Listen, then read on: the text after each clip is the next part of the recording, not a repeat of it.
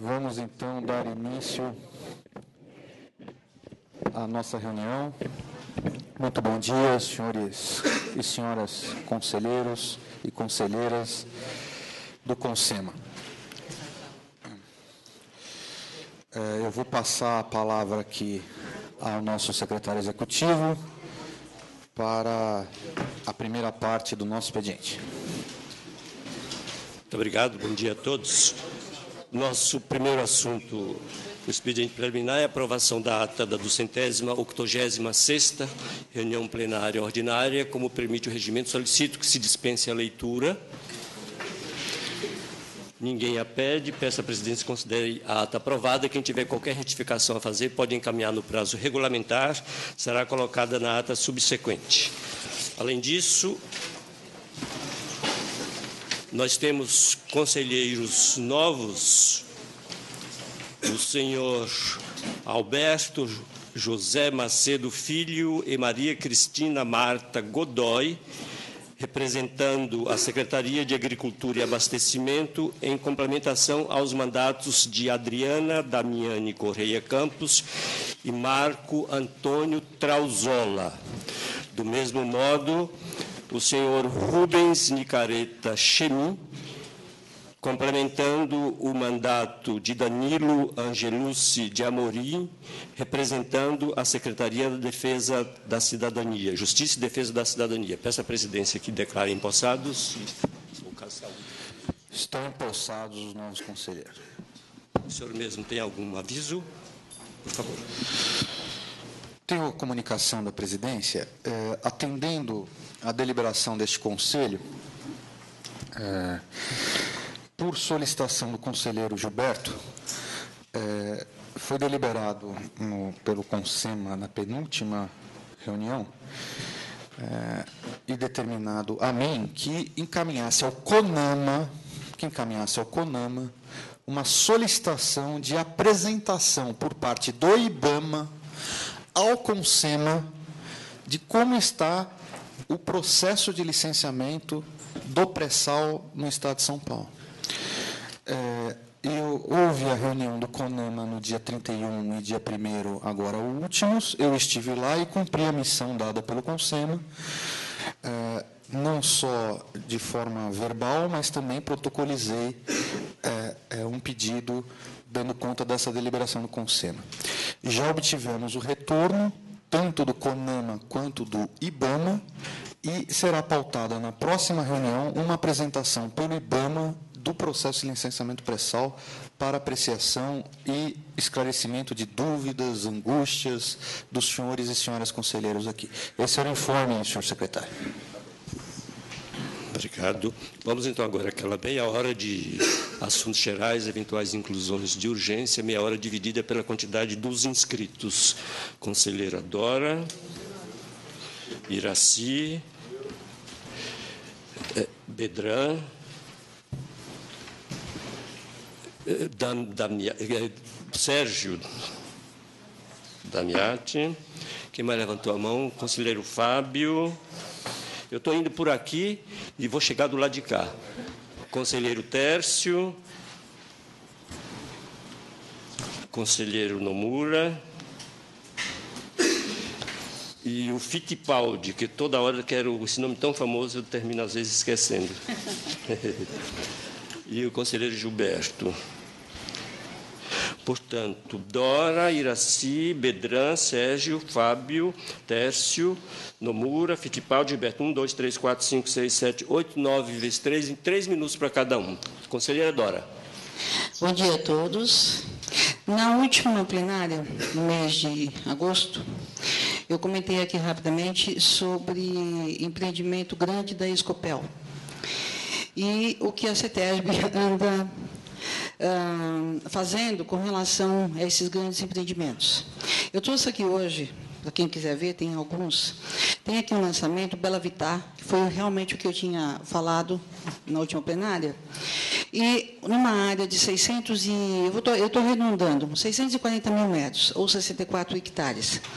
Eles ah, desmataram ah, com ordem da autorização da Prefeitura de Cotia, em 2008, uma, mata, uma área, um fragmento fechado de, de mata nativa, com lagoas, com nascentes, e aí eles desmataram árvores isoladas, desmataram 300 mil metros. O que restou de lá, pouco mais de 50%, eles, a CETESB foi chamada este ano, em março, se não me falha a memória, e fez lá um TCRA deve ter imposto algumas coisas para eles, para pagamento de, de, de árvores, de vegetação, etc. E só. E parece-me que. E, aí eu recebi um outro comunicado, uma outra denúncia. Eu tenho aqui o folheto, o folder, Reserva Escopel Santa Paula. E eu estive lá como se fosse uma, uma compradora de futuros lotes. E vi a área que nada mais é do que a outra ponta da gleba, onde quando a CETESB esteve lá em março, desse uh, loteamento, dessa reserva Belo Vitar, Bela Vitar, uh, não, nós desmatamos 50% e os outros 50% a gente vai preservar. Vai ser uma área de mata, bonita, nós não vamos mexer mais nada. Eu não sei, eu não li o TCRA, mas deveria estar uh, condicionado a uma verbação uh, pelo cartório de 50% não está, e quando eu fui visitar esse novo Reserva Escopel Santa Paula, dentro da cidade de Cotia, uh, visto pela, pela, pelo Google, a gente percebe é uma única gleba de 600 e poucos mil metros, e este 50 e poucos por cento que eles garantiram para a CETESB em março que iriam uh, preservar, eles estão lançando sem... Como que eu posso falar? Sem entrar com, em órgão público algum ainda para autorização, mas deve ter algum acordo, por enquanto, na gaveta com a prefeitura.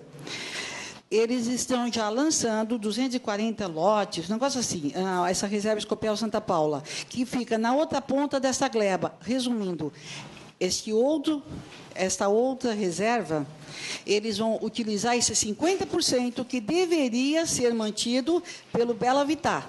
Então, eles começam lá na outra ponta para um processo, aí se conseguir vender os lotes, que eles vão conseguir vender, e a média de 400 mil reais, 150 mil cada lote. Então, eles vão conseguir, e aí, depois de tudo vendido, eles conseguem rapidamente, junto à CETESB e os órgãos estaduais, aprovar esse outro loteamento, que vai bater de frente com esse loteamento inicial que eles falam, que está tudo aprovado, inclusive Graproab. Não, Bela Vitar tem Graproab, tem tudo. E os 50%? Quem é que vai garantir? Eles já estão vindo com outro, outro projeto em cima desse 50%, ou seja, vão desmatar toda a gleba de 650 mil. E quem que olha isso, quem fiscaliza? É isso que eu queria colocar. Obrigada. Eu ia só pedir a gentileza, a presidência pede à conselheira Dora que deixe os folders, por favor, com o secretário, porque nós, nós vamos determinar, nós vamos determinar Eu já conversei com o doutor Antônio Carlos semana passada e passei para ele okay. só uma foto do Google, inicialmente. Deixe os folders. Okay. Obrigado. Vai ter o retorno, tá? Conselheiro Iraci.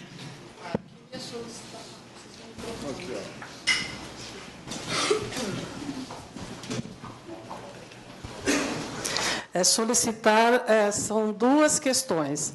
Uma delas é a dilatação do prazo do grupo de trabalho que está elaborando a minuta do decreto sobre padrões de qualidade do ar. Então, além da, da, dilação do prazo, queria solicitar a inclusão desse assunto como ponto 3 é, da segunda parte, ordem do dia. Então, está o pessoal da diretoria de qualidade presente aqui o diretor, o gerente de departamento. Se, se for necessário, eles podem fazer a justificativa. E o segundo ponto é a inversão de pauta. O que está como ponto 2, eu quero, devido à importância desse assunto, queria que passasse para ponto número 1. Um. Então, são essas duas coisas que eu queria colocar. Conselheira, assim vamos organizar a demanda. São dois requerimentos. Um de inclusão na nossa ordem do dia da deliberação se o Consema aprova ou não um pedido da CETESB de dilação de prazo de alguma coisa. Perfeito. Ok. Então, senhor secretário, anote que nós vamos submeter isso à deliberação do Conselho oportunamente. Uhum. E o segundo requerimento é de inversão de pauta, pelo que eu entendi, isso. que já está em tela, isso. a apresentação do PCPV uhum. como primeiro ponto de pauta. Perfeito, secretário, é isso mesmo. Autonomia sua conceder. É, então, isso, isso é, a presidência cata, porque é importante, nós temos uma informação que tem é, pessoas da imprensa que gostariam de registrar a apresentação e a deliberação do CONSEMA com relação a esse ponto. E o pessoal da imprensa, para não ficar esperando desnecessariamente, acho que é bastante razoável a inversão está concedida. Com relação ao seu primeiro requerimento, isso. terminando aqui a parte preliminar, a gente submete, tá ok? Tá, obrigada. Conselheiro Bedran. Bom dia a todos, bom dia, senhor secretário, Rubens, Germano. É, a primeira coisa que eu estou vendo aqui, na, eu gostaria de saber se há possibilidade, né? Nós estamos vendo um monte de loteamentos aqui para ser aprovados ou não, ou ser avocados para a nossa, para nossa competência. Eu achava, por exemplo, a possibilidade, nós vemos pequenos loteamentos, não nem passar por aqui, não há necessidade disso. Agora, os grandes loteamentos, que aí nós poderíamos fazer uma discussão, o que é chamado de grande, aí sim passaria por nós aqui. Primeiro, essa coisa, ver a possibilidade, inclusive aqui com o pessoal do PGE. É, quando a questão da Dora, que ela está falando aí agora, né, Dora, primeiro é o seguinte, loteamento não aprovado, que lançou qualquer panfleto, é 171. Cadeia. Não tem PGE está aqui, Procuradoria-Geral do Estado, daí para ver essas coisas. Então, esse é o primeiro. Segundo, se ele retirou é, metade da floresta, onde está a compensação disso aí? Não é? Então, precisa ver tudo isso daí, precisa ver se a legalidade dessa floresta, como é que ela estava, e realmente o pessoal da CETES vai ter que correr atrás disso aí. É, agora. Não é? Iraci, eu pedi uma ocasião nesses planos de trabalho, já faz algum tempo, quando foi a primeira introdução do, do plano aqui para estudo, eu pedi que se fizesse um plano do agrotóxico. Está bem, bem, lá atrás, nas reuniões. Então, se não foi feito, Iraci, eu gostaria que incluísse esse trabalho no nosso plano. Obrigado.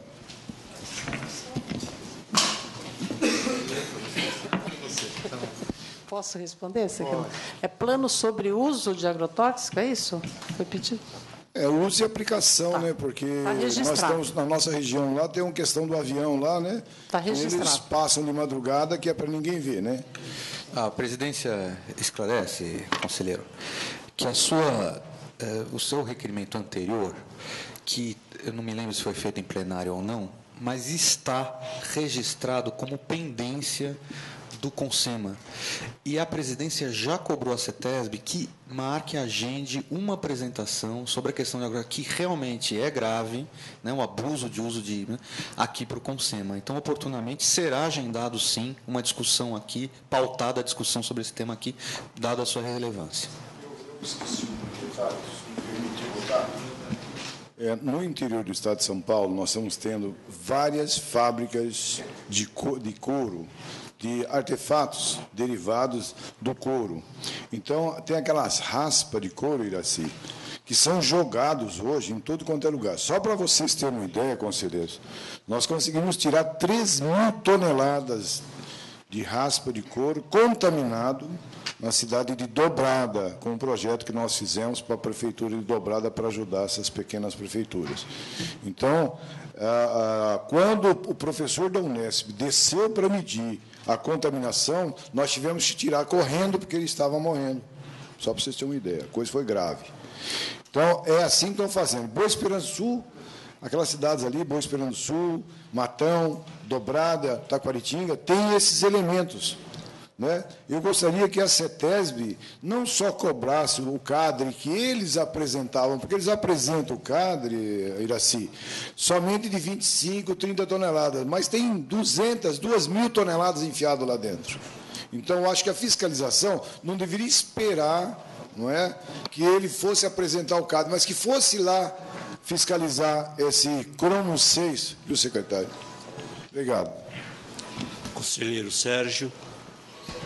Bom dia a todos. É, quero dar um informe só que ocorre do dia 12 ao dia 15 de setembro, lá na cidade de Barra Bonita, o nono Diálogo Interbacias, que é um evento entre a Secretaria do Meio Ambiente, Secretaria de Educação, Secretaria dos Recursos Hídricos e Saneamento, é, que coloca em discussão é, os seus técnicos sobre a educação ambiental nas bacias. Então, os comitês de bacias têm representantes e nós, como Secretaria de Educação, temos representantes nesses comitês. Então, esse seria um encontro para informar os é, projetos com sucesso, né? E uma troca de experiências e um diálogo entre essas três secretarias. Muito obrigado. Conselheiro Fábio. É, bom dia a todos. É, eu gostaria de pedir a palavra, porque eu gostaria de fazer um pedido para o Consema e para os representantes do, do Conselho, do, das secretarias, dos órgãos, né, é, que são representados aqui. É, todos acho que receberam um, um um ofício né, que encaminhei, que está com o timbre da Unesp, da Universidade Estadual Paulista, é, é, sobre um projeto de pesquisa que nós estamos submetendo ao governo alemão, junto com a, a, o Departamento de Geologia Aplicada da Unesp, Departamento de Ecologia da Unesp, a Escola de, de Saúde Pública da USP, a PUC do Paraná e a Universidade de Tübingen da Alemanha, a Universidade de Hamburgo, na Alemanha, e a UFZ, o Instituto de Pesquisa UFZ Leipzig, além de algumas empresas de consultoria na Alemanha e no Brasil. Tá? A ideia desse projeto, é, a ideia é pedir o apoio do CONSEMA de forma institucional né, para a divulgação dos resultados que foram obtidos nessa pesquisa. É, o projeto já foi submetido na primeira etapa, a gente tem uma segunda etapa que vai ser no, no, no final do ano. Né?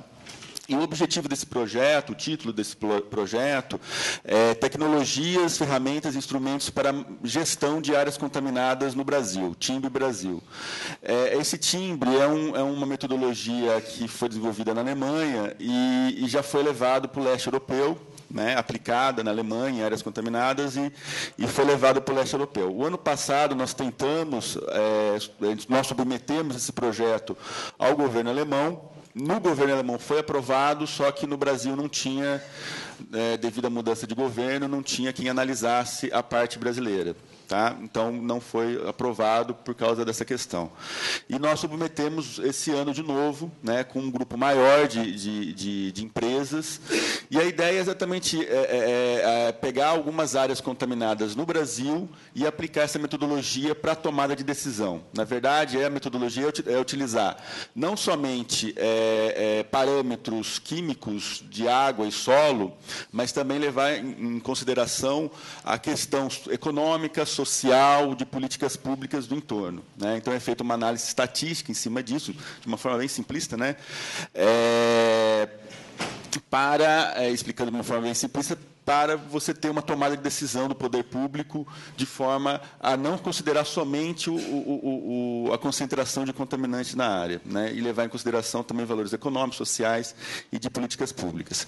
Então, a, a, a ideia, eu, eu encaminhei, o CREA já está participando, nós temos várias instituições participando também, e eu queria solicitar ao CONSEMA né, e, e às secretarias e, e, e, aos órgãos, né, as instituições presentes, que, se tiverem interesse, pudessem apoiar o projeto. Tá? São 2 milhões de euros no, na parte alemã, de, de, financiamento né, é, pa, para as instituições alemãs e depois a gente, a gente, aqui no Brasil, nós vamos solicitar é, financiamento, né, valores para CNPq, FAPESP e outros órgãos de fomento. Tá?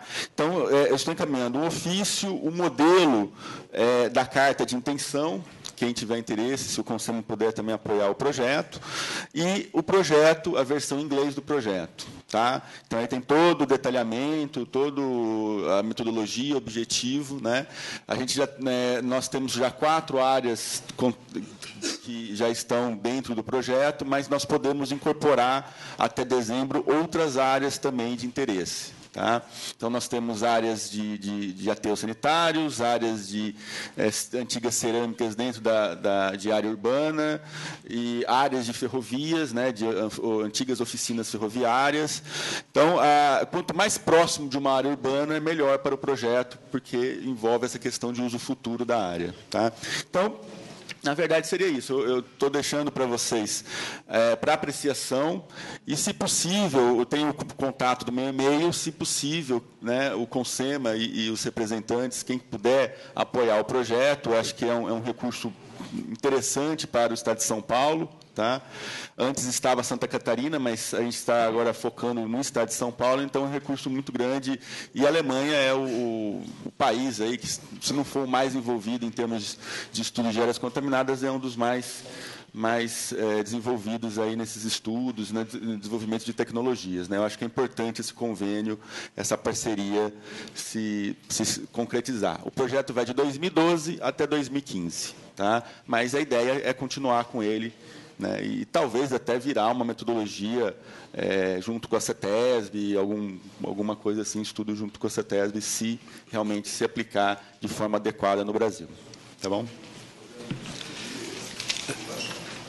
É isso. Depois, no final, a gente vai dar algumas, fazer algumas observações sobre os pedidos, e eu digo como isso pode ser encaminhado formalmente.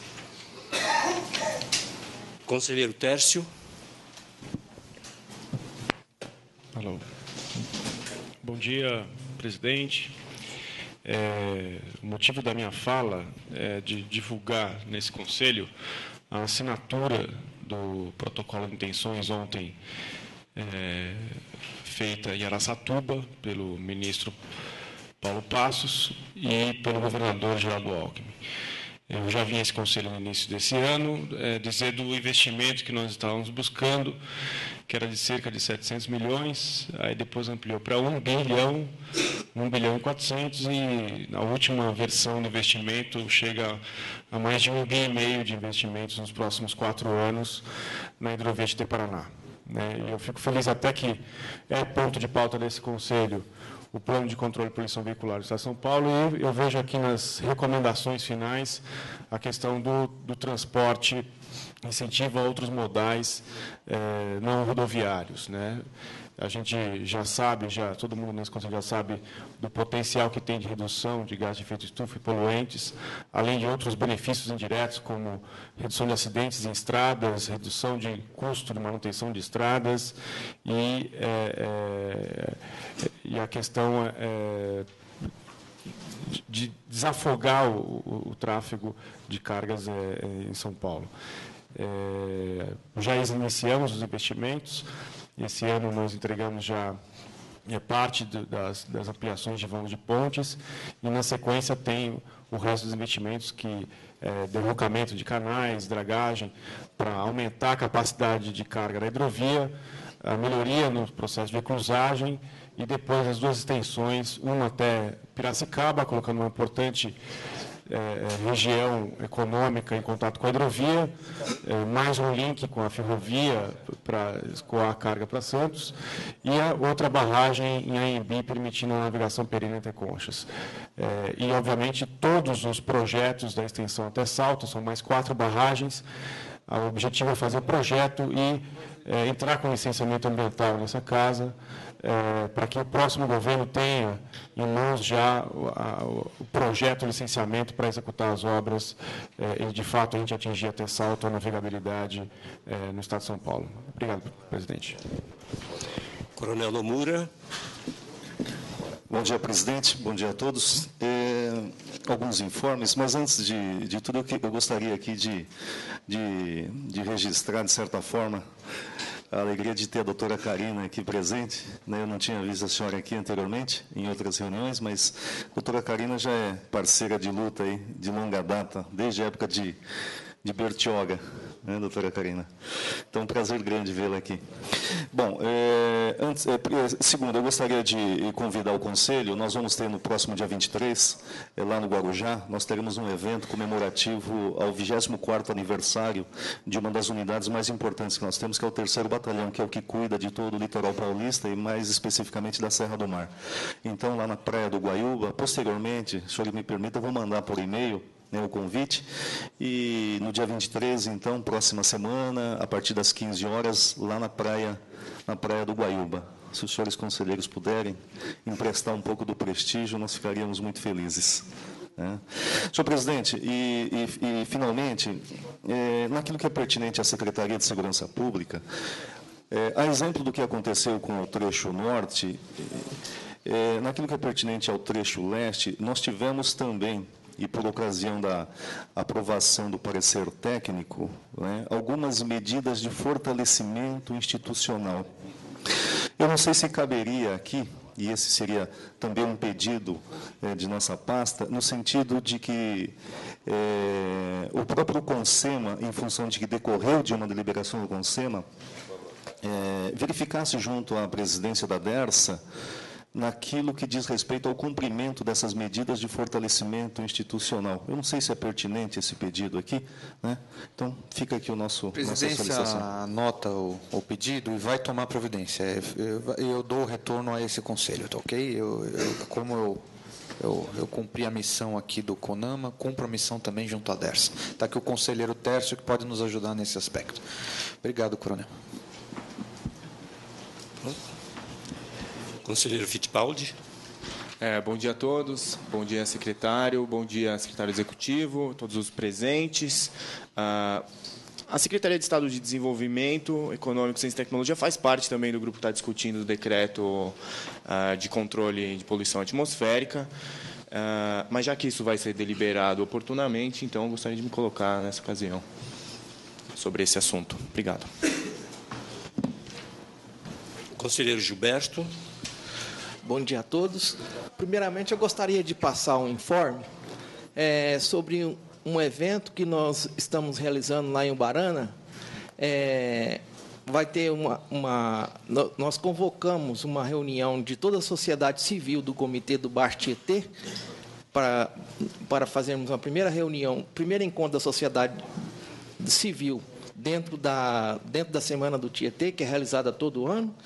E e, e vai ter uma palestra do professor Molion, que vai falar sobre mudanças climáticas e desenvolvimento regional.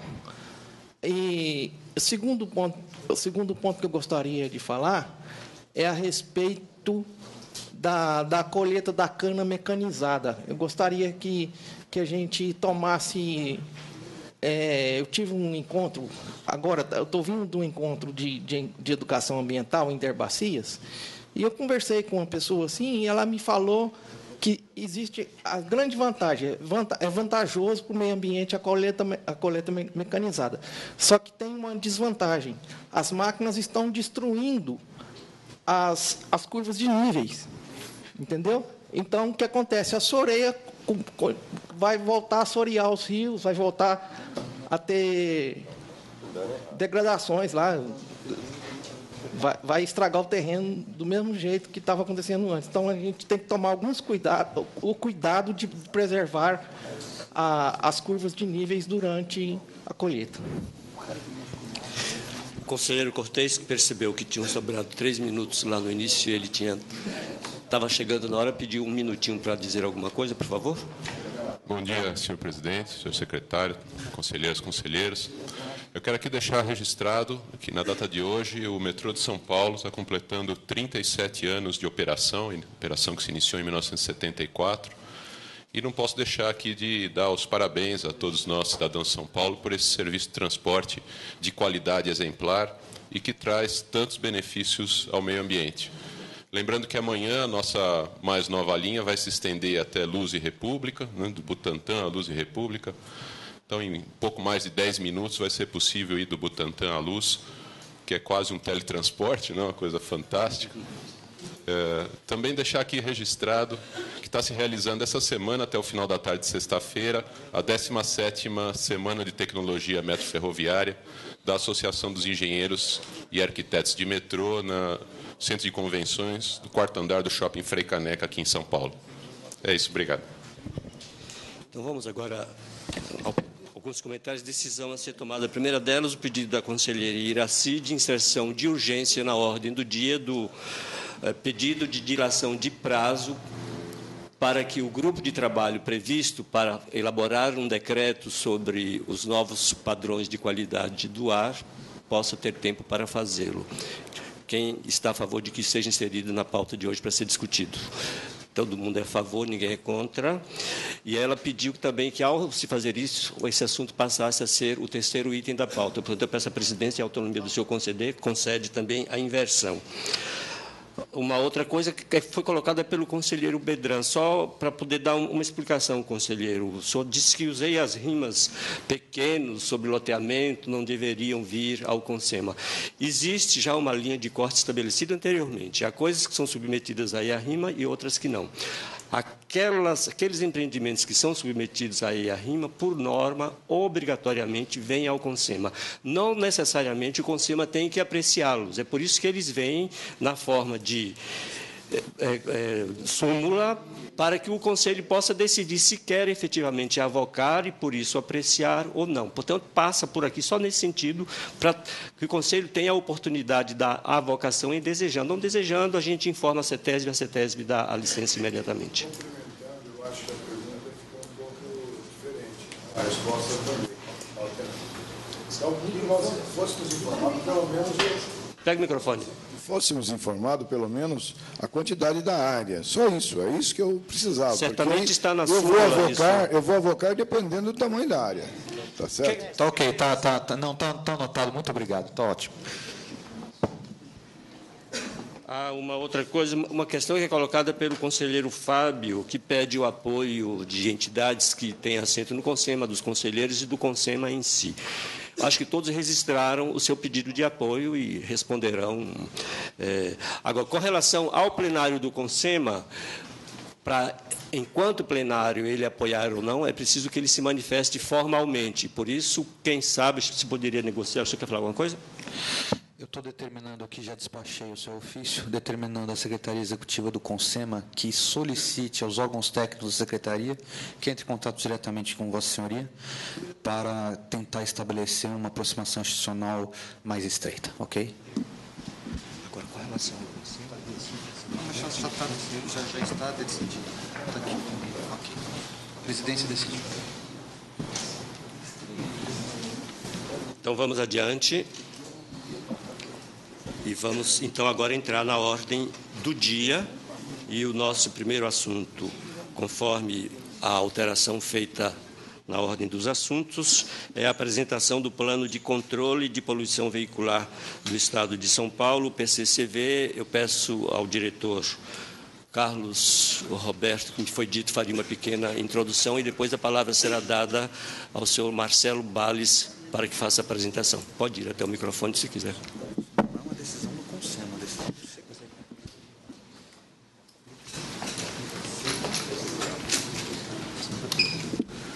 Bom dia a todos, bom dia, senhor presidente, bom dia, senhor secretário executivo e todos os conselheiros. É uma honra para nós aqui da Diretoria de Engenharia da CETESB estarmos presentes aqui com, com vocês. E nesse momento eu eu pretendo passar a palavra para o nosso gerente do setor de operações aqui da CETESB, Marcelo Bales, que fará a apresentação do nosso, da nova versão do Programa de Controle de Poluição da, por Veículos Automotores no Estado de São Paulo, que tem como principal objetivo dar as diretrizes aí no Estado de São Paulo do controle e da, do processo de melhoria na parte de emissão veicular. Agradeço a, a permissão do senhor presidente e espero tenha sucesso na sua apresentação, Marcelo. Obrigado. Obrigado, Carlos. Bom dia a todos, senhores e senhoras conselheiras. É, como falou o Carlos, trata-se de um plano com as diretrizes que a Agência Ambiental e a Secretaria e o Governo do Estado pretendem para a melhoria da qualidade do ar através do controle da frota de veículos rodoviários circulantes no Estado de São Paulo. Bom, o PCPV foi previsto por, pela resolução CONAMA, resolução 418 de 2009, e ela reza que ele deve ser elaborado a partir de estudos sobre qualidade do ar, sobre a frota circulante nos estados e o inventário de emissões dessa frota. Esses estudos devem levar a um diagnóstico e, então, a proposição das ações para que a gente alcance essas melhorias pretendidas. Né? Bem, como diagnóstico, eh, nós tivemos o trabalho facilitado porque a CETESB já realiza esse diagnóstico de qualidade do ar há muitos anos. Nós temos os indicadores aqui na casa e usamos esses indicadores de saturação e ainda o indicador básico proposto em 2009 pela no painel ambiental da Secretaria,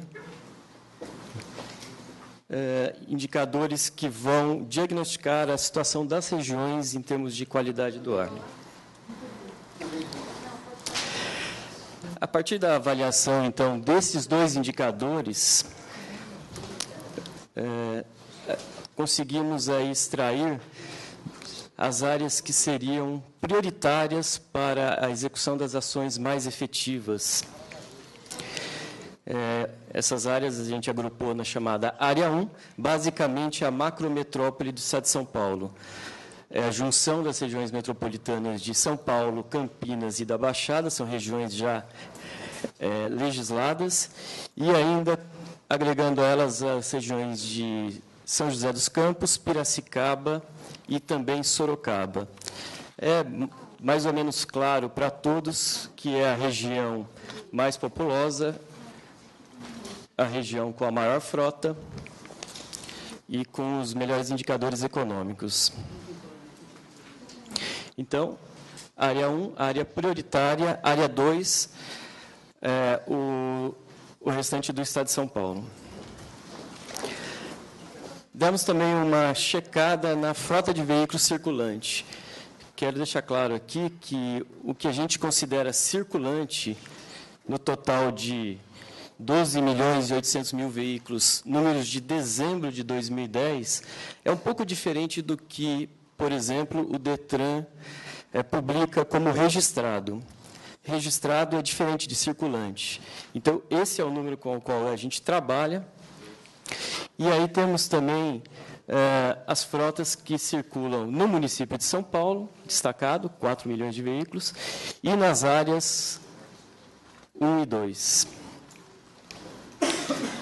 Lembro também que é um fenômeno não só do Estado de São Paulo, mas um fenômeno brasileiro, do constante aumento dessa frota de veículos, cerca de 10% ao ano nos últimos anos. Isso indica que temos que atuar fortemente nessa, nessa questão da frota circulante. É, a partir da caracterização da frota, a gente utiliza fatores de emissão para que possamos chegar ao inventário. Os fatores de emissão é um trabalho levantado também pela Casa. A CETESB é o órgão credenciado pelo IBAMA para a operação do PROCONV. Então, temos à, disposição, ou disponibilizamos, na verdade, através do nosso relatório de qualidade do ar, os fatores de emissão dessa frota que circula no estado de São Paulo. Chegamos, então, ao inventário de poluentes.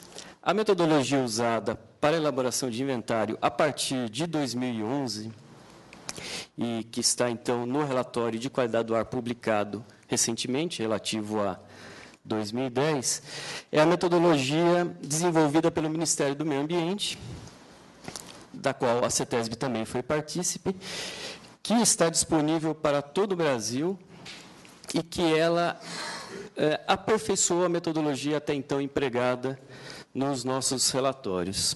Então, essa é agora a nossa referência para todos os nossos trabalhos na área de poluição veicular. Mais uma ferramenta que estamos utilizando para a elaboração do PCPV é a etiqueta de eficiência energética. Trata-se de um programa capitaneado pelo Imetro, é, com a participação dos Ministérios de Meio Ambiente, Minas e Energia, é, e também tem a participação da CETESB como um apoio técnico. É, este é o, o, a ferramenta que utilizaremos para as nossas propostas de eficiência energética.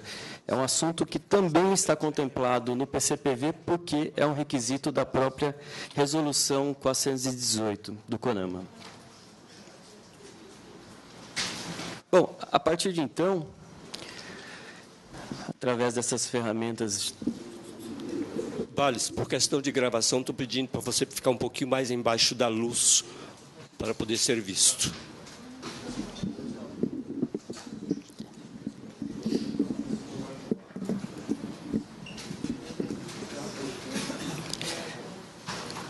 Muito bem. Então, a partir dessas ferramentas, esses diagnósticos que fizemos, estamos propondo, então, no nosso PCPV, três linhas. As ações de controle, que são as ações é, que serão executadas ou capitaneadas pela agência ambiental. Temos também o capítulo das recomendações, onde tratamos de assuntos de forma um pouco mais geral, mas mostra a, aos outros segmentos, tanto do Estado, do Executivo, é, como a sociedade, o que é interessante para a melhoria da qualidade do ar. E, por último, é, propomos ações de aperfeiçoamento do nosso próprio trabalho, de forma que a gente consiga avaliar as ações propostas pelo PCPV e propor que ele é, se aperfeiçoe ao longo do tempo. Lembrando que a própria Resolução 418 diz que devemos refazê-lo a cada três anos, pelo menos. As ações de controle, a principal é, evidentemente, a inspeção ambiental de veículos. É, vocês têm o texto do PCPV. O capítulo de inspeção ambiental traz linhas gerais, aponta quais são as grandes dificuldades e aponta que, prioritariamente, devemos começar com a inspeção ambiental de toda a frota naquela área 1, aquela macrometrópole. Os motivos são muito claros. Ah, os problemas de poluição do ar dessa região são causados pela frota circulante. Propomos ainda, em função de característica da frota de veículos pesados, a diesel, ônibus e caminhões, que tenhamos a inspeção ambiental dessa frota em todo o estado. Então, se na área 1 teremos inspeção ambiental para todos os tipos de veículos na macrometrópole. Para o resto do estado, devemos começar pelo menos com a frota diesel, em função do, dos, das características e dos impactos que ela causa. Mais detalhes vocês vão poder ver no próprio texto.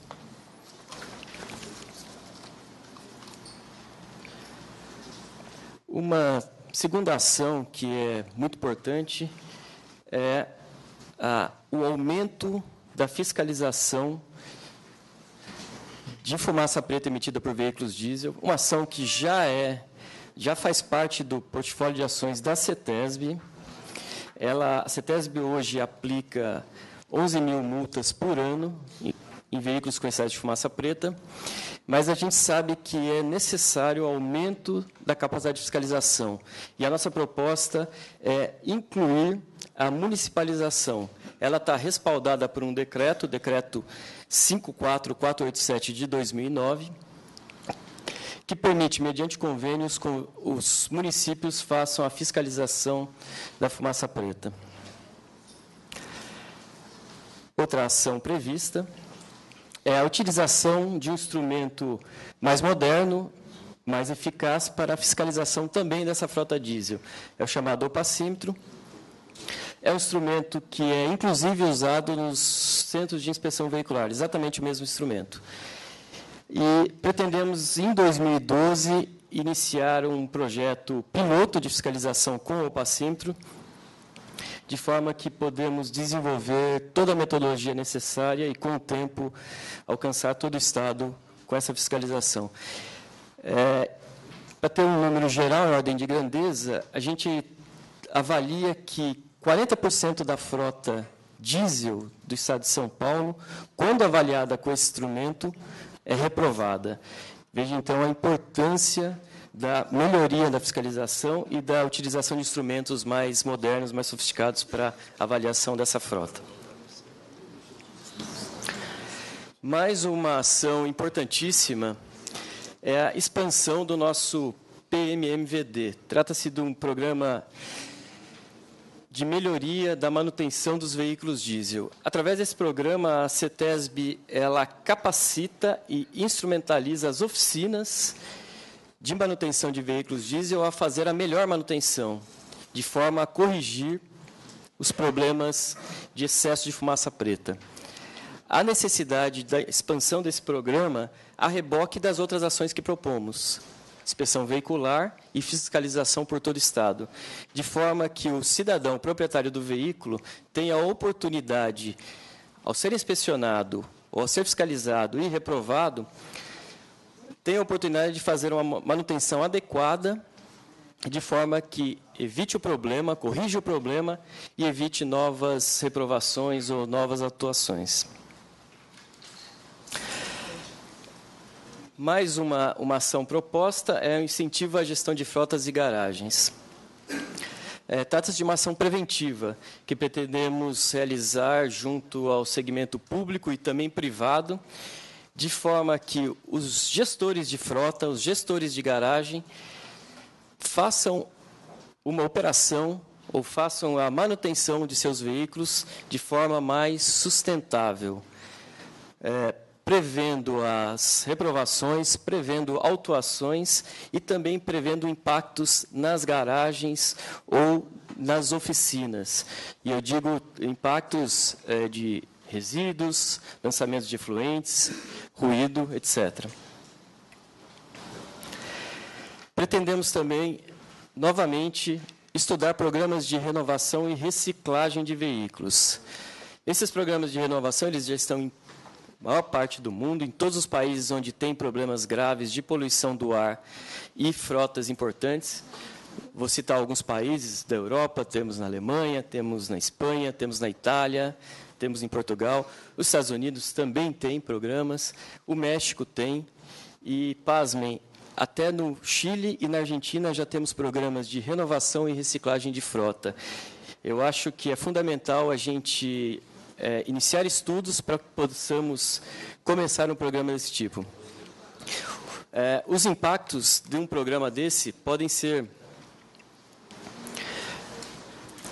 podem ser avaliados. A gente fez uma estimativa é, um pouco superficial, separando uma frota de 20% da que roda, da que circula aqui no estado de São Paulo, 20% da frota, essa frota que foi fabricada até 1997.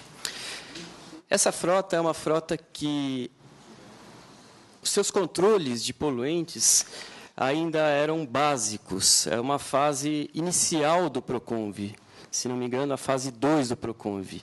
Então, até 97, os veículos ainda não tinham os sistemas de injeção eletrônica e catalisador que hoje, ou a partir de 97, todos os que foram fabricados no Brasil já têm.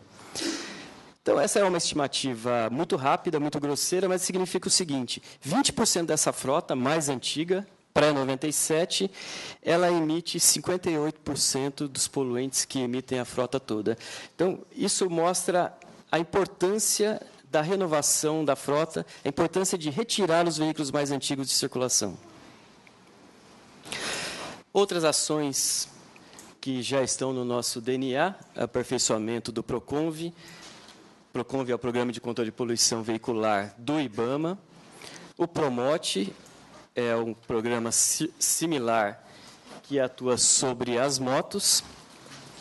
E temos já etapas programadas para esses, esses dois programas e temos também um novo programa já engatilhado. Em 2012, inicia-se a fase Proconv P7, aquela onde os veículos pesados vão ter sistemas de controle mais apurados, eles vão ficar com sistemas similares aos sistemas dos veículos leves, basicamente catalisadores também nos veículos pesados. Em 2013 teremos o aperfeiçoamento do controle de emissões de veículos leves. Em 2014, o aperfeiçoamento das motos. E, por fim, em 2015, vamos lançar, ou vamos iniciar o controle das máquinas rodoviárias e máquinas agrícolas. É um programa novo aqui no Brasil, que tem poucos similares no mundo. Então, essas são já etapas delineadas pela CETESB, em conjunto com o CONAMA, para o aperfeiçoamento desses programas.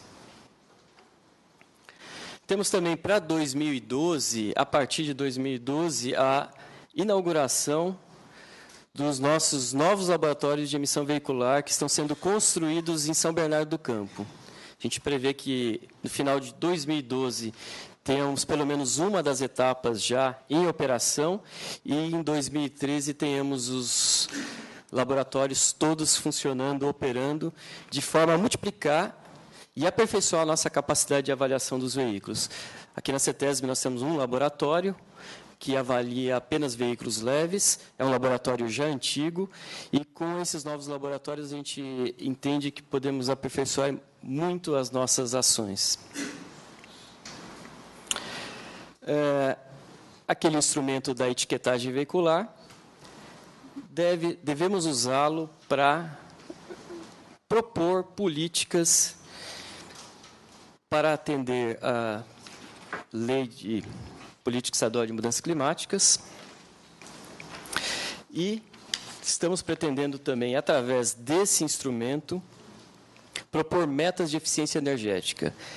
Metas de eficiência energética para veículos pode ser traduzido basicamente por limite de emissão de CO2, política que já está em curso na Europa, em alguns outros países, e esse deve ser o instrumento que vamos usar para propor essas metas e essas políticas para atender as questões climáticas. Importantíssimo para, para o controle e para uma melhor eficiência do PROCONV, em especial da fase P7 para veículos pesados, é o acompanhamento da distribuição do diesel com baixo teor de enxofre. Eu acho que todos sabem, é um assunto que já foi muito polêmico, mas é fundamental que esse diesel com baixo teor de enxofre seja disponibilizado nos postos de gasolina a partir de janeiro de 2012, já que esses novos veículos P7 eles só vão ter eficiência no seu controle de poluição ou no limite, eles só vão funcionar caso sejam abastecidos com diesel de baixo teor de enxofre. Então, é fundamental que a CETESB também, em conjunto com outros órgãos, faça o acompanhamento dessa distribuição e, portanto, possa avaliar o impacto dessa nova tecnologia que vai estar na rua. Vamos agora para a fase das recomendações. Então, aqui são linhas gerais que a gente deve apoiar em políticas propostas por outros segmentos de governo ou pela própria sociedade. Esse é muito importante para os centros urbanos. Redução do número de viagens. É, a gente entende que nas grandes metrópoles o impacto do transporte, o impacto da mobilidade, ele sempre vai ser negativo e dificilmente equacionado. Essa é uma política que permite reduzir o impacto da mobilidade na vida do cidadão.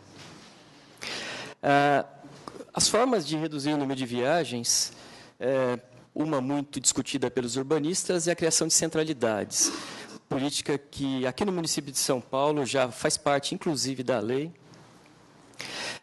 a criação de centralidades implica no menor deslocamento do cidadão de sua casa ao seu trabalho. A ideia é que se gerem empregos junto das moradias ou que se levem moradias onde estão os empregos.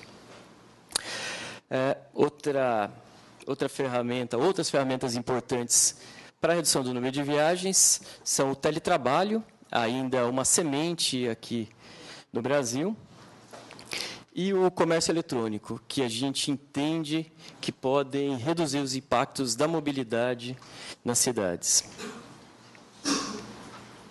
Outro fundamental, muito discutido hoje em dia, Semana que vem teremos aí Semana da Mobilidade, o Dia Mundial Sem Carro.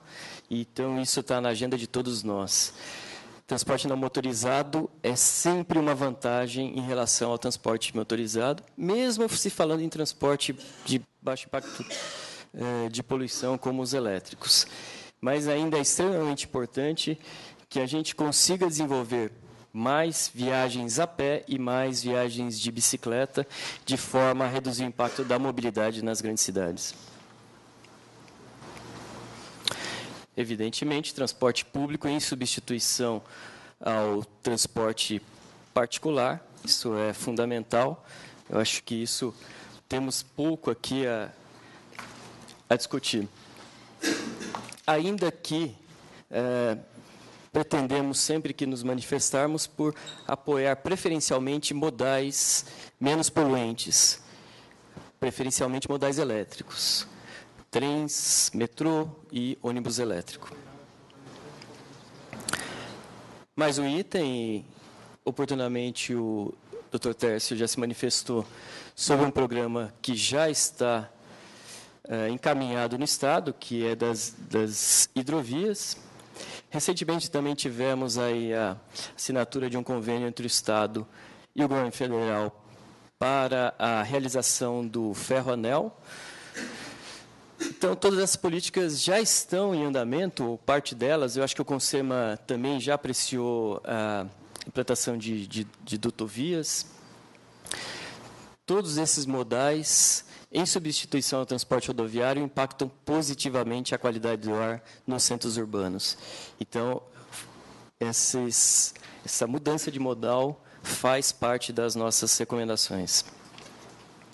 Para cidades, o gerenciamento eletrônico de trânsito ou de tráfego uh, são sistemas que ainda não estão implantados aqui no Brasil, ou se estão uh, de forma muito básica, mas é fundamental que a gente tenha instrumentos que são basicamente informações ao gestor de tráfego e ao motorista da situação das vias de forma que ele possa ter alternativas e evitar congestionamento.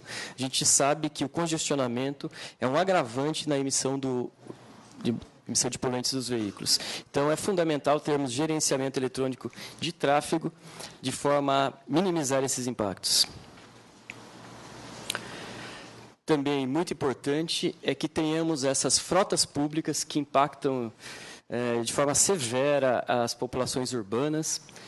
Uh, temos exemplos aí de ônibus urbano, veículos de coleta de lixo, poderia citar ainda perus escolares. É fundamental que os gestores de frotas públicas incluam a renovação da frota nos seus contratos ou nas suas operações, de forma também a minimizar os impactos dessa operação. Essa aqui é também uma pequena uma pequena aproximação para mostrar o impacto que essa frota, ou a melhoria dessa frota pode ter nas emissões. É, como eu disse, é apenas um exercício de imaginação. Temos aí do lado esquerdo a emissão, é, emissão total de NOx percentual da frota de ônibus urbano na região metropolitana de São Paulo atual, como 100%. Se fosse possível renovar essa frota para veículos que serão lançados em 2012, chamado P7 do, Pro, do Proconv, reduziríamos o impacto no poluente NOx para 39% apenas. De 100 cairíamos para 39%. Da mesma forma, do lado direito, material particulado. Se conseguirmos substituir toda essa frota por veículos novos, reduziríamos a 13% apenas a emissão de material particulado na região metropolitana de São Paulo. É claro que isso não é uma proposta, isso aqui é só um exercício para a gente poder entender a diferença entre a frota circulante com a tecnologia já desatualizada e o que é esperado por uma eventual nova frota com sistemas de controle eh, mais efetivos. Esse é um instrumento que nós já temos aqui no Estado de São Paulo, ainda que na área de fontes móveis, na área de veículos com pouca repercussão, mas é um instrumento que está disponível para a sociedade para que possa, é, ao substituir frotas por veículos mais novos ou por modais menos, menos impactantes, menos poluentes, possamos gerar créditos e eventualmente negociar créditos ou usar isso como um instrumento de certificação ambiental. Outro instrumento fundamental para as políticas de, de governo são as compras e tributação verde. Um dos instrumentos é a etiqueta de eficiência energética e quero anunciar que a etiqueta de eficiência energética ela deve provavelmente no ano que vem incorporar também os itens de poluição veicular através da, de, da convênio entre o IBAMA e o Metro, de forma que a etiqueta poderá informar ao consumidor o quanto o seu veículo consome de combustível, mas também o quanto ele polui. Isso vai ser uma evolução importante no nosso programa. E ela evidentemente, pode ser um instrumento para compras e a tributação desses veículos. Mais um item importante, também ligado à questão de gestão de frota e à renovação de frota, é a operação, a contratação e a concessão de frotas por parte do poder público com critérios ambientais nos contratos. Significa que, ao licitar uma região para operação de transporte, eu coloque nesse contrato, nesse edital, quesitos ambientais. Pode ser idade de frota, deve ser com certeza a idade de frota, tecnologia aplicada na frota e também a gestão das garagens e das oficinas, conforme uma política proposta anteriormente também é fundamental, campanhas de educação e orientação. Vamos ter aqui no dia 22, Dia Mundial Sem Carro. É uma campanha que repercute muito no mundo inteiro. A CETESB já há muitos anos faz a Operação Inverno, onde indica aos recomenda aos proprietários, aos motoristas a manutenção preventiva dos seus veículos para reduzir o impacto.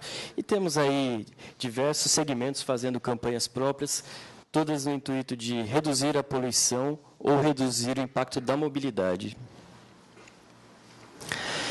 Também estamos recomendando o desenvolvimento e o aperfeiçoamento das tecnologias da mobilidade. Uh, diversos órgãos do Estado já realizam pesquisas. Uh, temos aí veículos híbridos, veículos ônibus a a célula de combustível movidos a hidrogênio.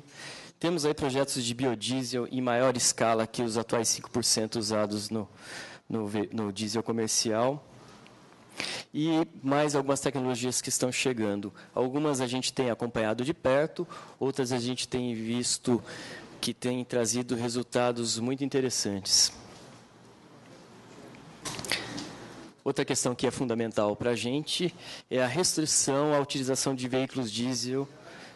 É, desculpe, restrição à utilização do diesel em veículos leves.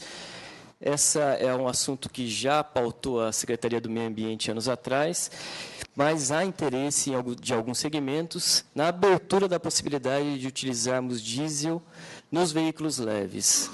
A nossa posição é contrária, temos aí nos manifestado é, com uma série de pontos negativos, em especial porque o Brasil já tem um ganho razoável com a utilização de combustíveis renováveis e não teria o motivo razoável, principalmente ambiental, para utilizar um combustível fóssil na frota de veículos leves de passageiros.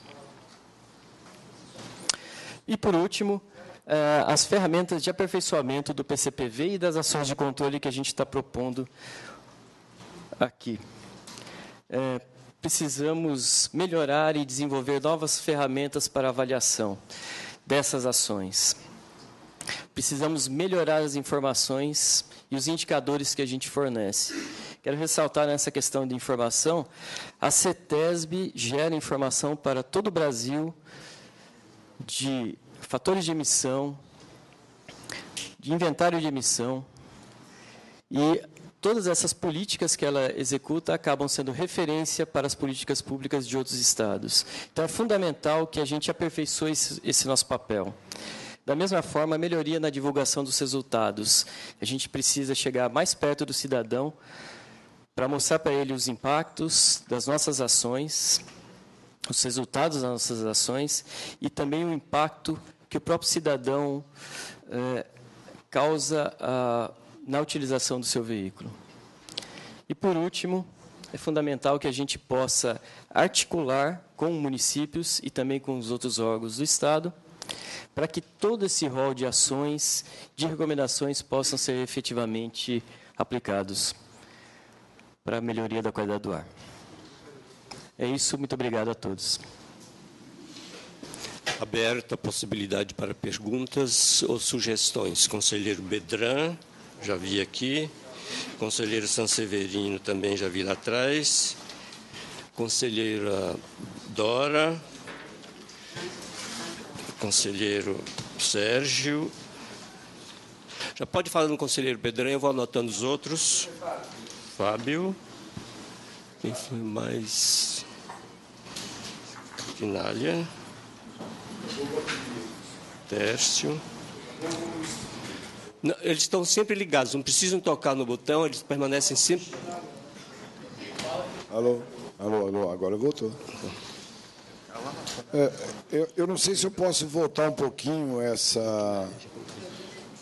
É, Germano, é, é eu queria voltar um pouquinho na questão da, dessa proposta da, da das, das, mudanças né, do transporte, desse contrato que foi assinado. Se, é, lá em Araçatuba, o colega falou sobre as mudanças. Eu gostaria de saber se as inclusas e o levantamento de pontos estão, estão dentro do, do programa, né, que é esse projeto de transporte. Depois eu volto no seu, só dois minutinhos.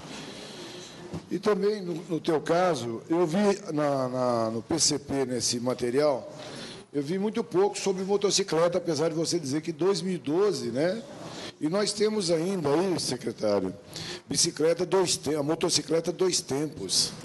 É terrível aquilo lá. Aquilo é morte na certa se você ficar perto do escapamento daquilo lá.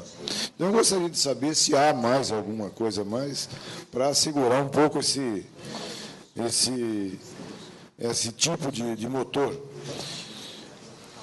Ah, quando se falou em transportar para o município né, o controle, eu tive fazendo uma pesquisa em alguns municípios e vi é, a dificuldade que o município tem de fazer esse tipo de controle. Me parece que essa é a proposta de vocês transportar para o município, né? Essa responsabilidade ou essa atividade. Por outro lado, nós ouvimos aí questão do barulho. Deveria estar incluído também. Apesar de que nós possamos, podemos fazer alguma coisa em separado. O Estado de São Paulo, secretário, está uma vergonha. Você acorda com aquele som horrível. O escapamento, ninguém fala nada, ninguém ouve nada, ninguém faz nada. E nós estamos aí morrendo aos poucos. A qualidade de vida nossa está acabando. A gente que está morando no interior, que pensava que nós íamos ter um pouco de tranquilidade e não temos. Os veículos lá, realmente, quando você falou da frota, viu, companheiro? Você tem razão. A pior coisa do mundo é você pegar um 11, 13 na frente. Uma estrada de mão, mão, duas mãos. Né? Eu sempre sou a favor. Quando eu vejo um 11, 13, eu falo 11, 13, 14, 13, qualquer coisa 13, derrete e dá um caminhão novo para o caboclo. Porque não aguento mais esses caminhões das estradas. Realmente você tem razão. E, por último, eu queria dizer aqui que a, a resolução 315 ela, ela é bem, bem clara na questão da, da, da poluição. Mas nós podemos, no Estado, fazer uma lei melhor. Não podemos fazer pior para baixo, mas para cima nós podemos fazer. E também eu fiz um pedido aqui que vai de encontro com a sua sugestão de diminuir o impacto das coisas. E, senhor se lembra que nós fizemos um pedido ao Grapoab para que nos novos loteamentos se instalasse, obrigasse o empreendedor a fazer né, as ciclovias. E demais, eu acho que é importante esse, esse trabalho que estão falando aí. Obrigado. Nossa, que chique, nunca recebi isso aqui. que bom. Terminou? Tá. Conselheiro Sanseverino. Muito bem. Vocês estão me ouvindo? Senhor secretário, doutor Germano, senhores conselheiros, bom dia. Queria anotar que eu entendo que essa apresentação ela é histórica aqui para o Conselho. Estado de São Paulo, ela não só é a maior cidade do país, te dê a vida como a quarta ou a quinta maior do mundo. Nós temos a fama de sermos a locomotiva desse país e a maioria dos problemas que nós temos ambientais em razão da questão de ser uma cidade do tamanho que é São Paulo, a grande São Paulo com mais de 20 milhões, o estado de São Paulo com mais de 10 milhões, eu concito e convido os conselheiros a refletirem sobre a absoluta importância deste tema e da atribuição deste Conselho e da, do posicionamento oficial que nós devemos tomar em relação a esse programa que acabou de ser nos apresentado. A mim me parece, quero também saudar aqui a doutora Karina como o nosso comandante, que as suas luzes e contribuições aqui possam nos ajudar a dirimir as questões em favor do Estado. Me parece que nós estamos falando de uma gripe, senhor secretário, em que nós estamos cuidando só dos efeitos. Estamos falando aqui de um cidadão que está trabalhando dentro de uma geladeira e que nós estamos dando comprimido para ele. Mas as principais causas, elas foram observadas, ao nosso ver, eh, de uma maneira superficial. Diria isso com todo respeito à pessoa que fez a apresentação e também ao projeto que foi apresentado, mas quero lembrar que o CONSEMA deve, na nossa opinião, oficiar o CONAMA para exigir do governo federal, fazer um ofício ao Ministério do Meio Ambiente, para que finalmente a promessa de que o diesel com baixo teor de enxofre prometido para janeiro seja cumprido. Porque isso vem se prolongando Vamos lembrar que isso foi objeto de ações do Ministério Público, da OAB, de ações para impedir, inclusive junto ao CONAR, que a Petrobras fizesse anúncios de sustentabilidade quando ela é a principal responsável e poluidora deste país, ao distribuir um petróleo que ela distribui aqui e ao exportar, exporta com menor índice de enxofre, né, com desrespeito ao pulmão dos brasileiros, onde se pensa que talvez nós tenhamos um pulmão mais forte que os outros, é isso? Depois, não é possível falar que nós vamos tratar de motocicleta em 2014, sendo que nós estamos em 2011. Não é possível a gente abordar a questão de, de tratar das alternativas dos modais sem haver uma proposta concreta. Trânsito de São Paulo, senhor secretário, das 18 às 20 horas, a média de velocidade aqui é de 8 a 12 km por hora. Das 18 às 20 horas, de 8 a 12 km por hora. Borba Gato, Borba Gato de carroça ou de burro, andava a 20 a 25 km por hora. Nós estamos vivendo um paradoxo. Né? E o governo federal incentiva a vender motocicletas a 50, 70 reais por mês, automóveis a 100 reais por mês, e nós temos aqui, sim, eu acho que cada um de nós que representa um segmento da sociedade civil, temos até por obrigação de civismo e por obrigação regimental de pontuar alternativas, contribuindo para com o governo estadual e oferecendo a partir aqui do CONSEMA sugestões, tanto no plano estadual quanto federal. Eu gostaria que nós nos deitássemos, por exemplo, a recomendações de uso eh, fiscal ou de restrição de, de circulação. Tenho certeza, pelo que a gente conhece de comportamento em outras oportunidades, que se houver um incentivo à população de que aqueles que é, utilizarem mesmo, menos o seu carro durante a semana terão um IPVA menor, por exemplo, nós vamos ter. Esses exemplos já funcionam na Europa, funcionam nos Estados Unidos, e aqui nós não temos. exemplos de incentivo fiscal. Então, de redução de PVA para quem usa menos e de aumento de PVA para quem usa mais. Ou de restrição maior de circulação em regiões onde a poluição é maior e de, inclusive, momentos de pico. A gente já tem a questão é, da, da, do rodízio, que quando foi lançada lá atrás, a pessoa mais lembrada foi a mãe do Fábio Feldman. Né? E hoje, hoje nós sabemos que foi um grande benefício, que ele lá atrás foi um vanguardista, como foi junto da elaboração do 225. Estou fazendo aqui um ódio de homenagem a um dos secretários desta casa. Então, senhor é, secretário, eu entendo que nós devemos nos descer, é, eu proponho que o tema do projeto que foi apresentado, eu gostaria, se fosse possível, de ter vista deste processo, se é que existe um processo, para que nós pudéssemos oferecer sugestões. E que essas sugestões, então, eu concito os colegas aqui, que eu tenho certeza que muitos daqui têm até muito mais experiência do que eu, que oferecessem sugestões para que, ao esse tema voltar para esta casa, numa outra oportunidade, eu sugiro um adiamento de eventuais votações daquilo que foi apresentado por pelo menos duas ou três sessões, para que a gente possa oferecer sugestões e, com isso, trazer a contribuição dos senhores conselheiros. Eu tenho certeza que o Ministério Público, mesmo a Polícia Militar, os demais órgãos que estão aqui, os ambientalistas, terão sugestões para melhorar essas circunstâncias. Não é possível que a gente não apresente propostas concretas e imediatas. Não é possível que a gente tenha que esperar 2014 Há notícias, por exemplo, que uma motocicleta, ela, a de dois tempos, polui sete vezes o que polui um automóvel.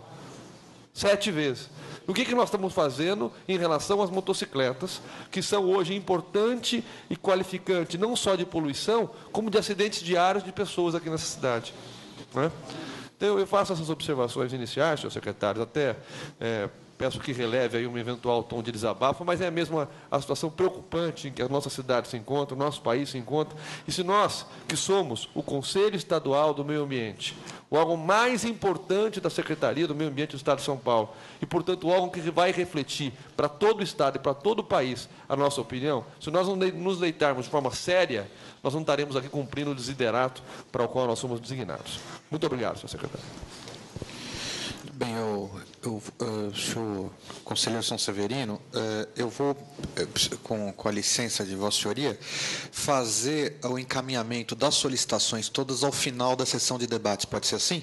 Estou anotando aqui. Está ótimo, senhor secretário. Eu só queria pedir, com a sua licença, eu gostaria que houvesse, a tempo e momento, uma análise. Houve uma denúncia do chamado racismo ambiental em relação aos ônibus de São Paulo que, que é o racismo ambiental? Saiu uma reportagem, se eu não me engano, saiu no Estado de São Paulo há algum tempo atrás, dando conta que os ônibus que tinham um motor na frente, a exemplo do que o colega aí falou sobre os 11 e 13, os ônibus que têm motor na frente que são altamente poluentes, esses ônibus estão sendo usados na periferia estão sendo usados na Grande São Paulo, em Carapicuíba, Barueri, etc. Significa dizer que quem está em São Paulo usa motor ou elétrico ou motor mais moderno, com motor atrás, mas o pessoal da periferia está recebendo essa poluição dentro do ônibus. Eu queria saber se é procedente solicitar que houvesse uma investigação a propósito do tema que nós estamos tratando. Muito obrigado, senhor secretário. Agora sou eu, né? Conselheira Dora. Eu endosso desculpa, eu endosso todas as palavras, pontos, vírgulas e etc., do, do conselheiro Severino, tudo. E só uma questãozinha. A questão de um, de um pequeno erro, ah, lá na apresentação inicial, mostrou que era o decreto, ah, decreto 18, é 418, barra 2009. Sim, mas lá faltou o 4. Foi só isso. Agora, a folhas 15 diz aqui. Ai, eu acabei me atrapalhando, desculpa. Uh, das motocicletas. Novamente repetindo e reforçando o que o Sanseverino falou. Que, aí eu gostaria de saber se há uma previsão para se instituir tais estudos né, pelo Estado para realização do, dos testes específicos. Já nas folhas 28, uh, ah, no meio da página, para 2012 está prevista a implantação do controle de conformidade e produção para as motos. Em 2014 vai entrar em vigor tal para já até lá para poder talvez diminuir o tamanho do, dos seus escapamentos e a diminuição de, de, de da, da fumaça. Só que a gente imagina o quê? Ah, outra coisa, Ninguém, é, excelente o, o, plano, o plano, desculpa, o plano de controle da poluição, o trabalho é excelente, só que também ali não levanta nenhuma questão ah, com relação à diminuição da venda, diminuição da a facilidade, tá, está aumentando cada vez mais da pessoa trocar do seu carro ou adquirir um veículo. Então, continua, ah, vamos tirar IPI, vamos tirar ICM, vamos tirar não sei o que, os impostos, vamos diminuir para que as pessoas comprem mais carro. Tentaram fazer isso de dois anos para cá, mas simplesmente a frota aumenta a cada dia, a cada semana. E com relação às motos, independente da, das mortes que acontecem todos os dias, hoje eu peguei uma, uma hora e meia dentro do trânsito, em Raposo, porque uma moto foi para o chão. o número de motos que está aumentando assustadoramente. Então, com isso, a poluição também aumenta assustadoramente, independente do número de veículos que a cada, a cada semana é vendido. É isso daí. Obrigada. Conselheiro Sérgio. Bom, eu gostaria de um esclarecimento aqui na página 7, tem um mapa, uma figura que indica que a região de Ribeirão Preto faz parte da zona saturada. Entretanto, na, no mapa lá onde indica as áreas onde haverá inspeção de todos os veículos ou só de ônibus e, e caminhão, não foi incluída é, a região de Ribeirão Preto nessa área 1. Né? Queria saber assim, um motivo por que isso foi, não foi feito. Conselheiro Fábio. É, gostaria de parabenizar a equipe que elaborou o relatório, mas concordo em, todas as palavras do conselheiro Sanseverino, né, pela, é, pelos problemas, aí, principalmente do, da, da, da questão do enxofre. Né. É, mas é bom ressaltar, é, eu tenho participado de alguns eventos né, de, de tecnologia ambiental, é, não só no Brasil como fora do Brasil, e só se fala em tecnologia limpa. Né? Eu acho que é importante é fundamental falar sobre isso, investir nisso, mas é, nada se fala, nada se faz em termos de política pública em relação à principal causa do, do problema que nós temos, não só no Brasil, mas no mundo inteiro, né, relacionado com o meio ambiente, que nada mais é que o crescimento desordenado, né, o crescimento populacional gigantesco que nós temos, então, a gente fica criando novas e novas e novas tecnologias, investindo milhões e milhões, né, bilhões de, de dólares, de reais em investimentos de tecnologia limpa, que são importantes, são necessários, mas a causa principal, que é o consumo desordenado e a população desordenada do mundo, nós não fazemos nada. Né? A gente não vê nenhum país é, levantando essa causa de forma mais concreta. Né? No Brasil não se fala nisso, pelo contrário, vários países estão incentivando a população a aumentar, incentivando o consumo a aumentar. A gente vê isso né, no Brasil e no mundo inteiro. E a causa principal de todos os problemas ambientais, mas não só problemas ambientais, mas de outros problemas, é esse problema, o crescimento populacional. Né? E nós não vemos. Lembrando que, em outubro, nós estamos chegando a 7 bilhões de pessoas no mundo. Tá? É, cerca de 22%, 22% 20% da população está no nível de pobreza. Então, imagine, sem o crescimento populacional, se a gente pegasse esses 20%, 1,5 bilhões de pessoas, e levasse para o consumo da classe média brasileira, ou, né, exagerando o consumo da classe média americana. Né, o que seria isso para o planeta? Então, é, parece que a humanidade está correndo atrás do rabo, né? criando, criando novas políticas, novas tecnologias, mas a causa principal, que é o consumo e a população, não se vê uma política séria, uma política mundial em relação a isso. Né? É, mais uma vez, eu acho fundamental esses relatórios, essas, essas, é, essas tecnologias né, novas, essas mudanças de matriz de, de energia, mas nós temos que atacar a causa principal do problema. Tá? E urgente, tá? Senão, em 2015, é 9 bilhões de pessoas no cenário mais, é, mais moderado, vamos dizer assim, né? e 12 bilhões de pessoas no cenário mais pessimista. Tá? Então, muito obrigado, gostaria de, de agradecer a palavra. Conselheiro Quinalha.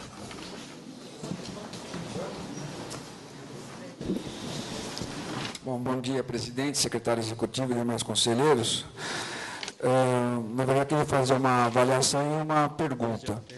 Na avaliação, quando ele fala que a importância das novas centralidades urbanas, eu acho que é meio paradoxal que o próprio governo venha falar sobre isso, seja ele estadual ou federal, quando na verdade a gente prioriza a política urbana com relação, em detrimento do transporte e sistema viário. Cada vez mais as administrações sucessivas da cidade de São Paulo e do governo do Estado vão fazendo túneis, ampliando avenidas, em detrimento do transporte coletivo de qualidade, um transporte coletivo que venha a inserir novas tecnologias na, nos seus equipamentos. Com relação a a pergunta, eu gostaria de fazer se vai haver alguma política de incentivo. Uh, cadê o. Alguma política de incentivo com relação ao retrofit dos ônibus urbanos, porque há uma resistência que eu acho que é até justificada dos proprietários de ônibus, até porque não é um processo barato, mas que é extremamente necessário. Não podemos, como diz o nosso conselheiro Sanseverino, ficar prevendo 2014, atividades daqui 3, 4, 5 anos, quando nós temos uma frota enorme, inclusive está aqui no relato, transitando com uma tecnologia bem mais atrasada, não sei quantas gerações, ou duas ou três gerações, dos ônibus europeus. Então, acho que é necessário uma política de incentivo urgente para que faça o retrofit desses ônibus, para que possa diminuir bastante, até impactar menos menos a qualidade do ar das grandes metrópoles. Conselheiro Tércio. Okay. É, eu queria só fazer um questionamento que é, é esse plano, de alguma forma, ele vai vincular ou criar condicionantes para o licenciamento ambiental e para financiamento? Que nós temos aí uma lista de 57 obras do plano hidroviário e me preocupa a velocidade do licenciamento dessas obras e praticamente uma coisa está vinculada à outra. Conselheira Fernanda. Alô. É, bom dia a todos. É, tenho algumas considerações, mas elas vão na linha de tentar resgatar uma tradição da, dessa casa, da CETESB em especial, na sua origem, de ter uma preocupação com saúde pública. Né? Nós estamos falando de uma questão que, de fato, é passa por mobilidade, passa por diversos outros desconfortos, mas, antes de qualquer coisa, é um problema muito grave de saúde pública. Então, eu queria é, me solidarizar com as preocupações do conselheiro da OAB e dizer que é, senti falta, não sei se é porque foi um resumo e, e, também já me coloco à disposição para a leitura desse material, São Severino, é, se for criada essa comissão, eu senti falta de algumas ações mais enérgicas. Por exemplo, é, é, correto indicar a necessidade de mudança de modal, tá, tá ótimo. Conceitualmente, é isso mesmo que nós temos que fazer. Mas nós vamos criar uma tributação que seja indutora, nós vamos é, incentivar ou, ou, ou retomar ah, com mais eh, vigor a restrição de mobilidade, né? nós vamos ter políticas que sejam mais por atacado, ou nós vamos ficar no varejo de fiscalizar o carro de cada um. Isso, isso, isso me parece pouco. É, acho que a gente avança mais se tiver acoplado a essas medidas, longe de dizer que elas são é, é, dispensáveis, muito pelo contrário, são muito importantes, são avanços, mas acho que a gente precisava acoplar medidas de atacado. Acho muito importante isso. É, com relação à questão do que foi falado também sobre o peso de São Paulo, né, o peso da população afetada e o peso do tamanho da frota, porque também somos, imagino eu, os maiores compradores de veículos.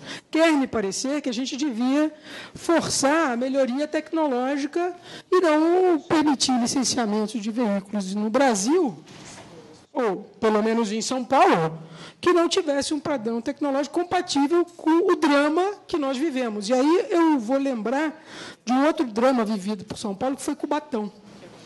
Na época de Cubatão, o Procop financiou a alteração tecnológica das indústrias para que se reduzisse por atacado, é disso que eu estou falando, de ações por atacado, né? e são ações de Estado, portanto, entendo que, de certa forma, transcendem a, a, ação da secretaria, mas não transcendem a competência do CONSEMA, como falou o, o conselheiro Sanseverino, porque nós precisamos fazer ter um ganho mais veloz.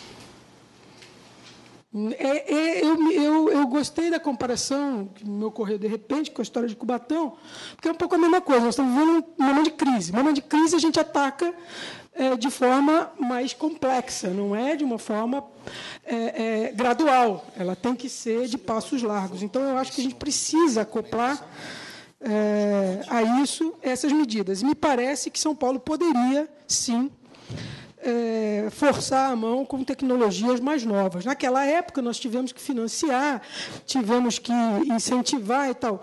Hoje, essas tecnologias e veículos são coisas mais simples, existem é, é, tecnologias muito melhores das que estão rodando aqui estão disponíveis. É uma questão da gente criar um, um mix, porque também não tem uma solução simples, mas criar um mix de incentivos e restrições que acabem no atacado conduzindo a isso.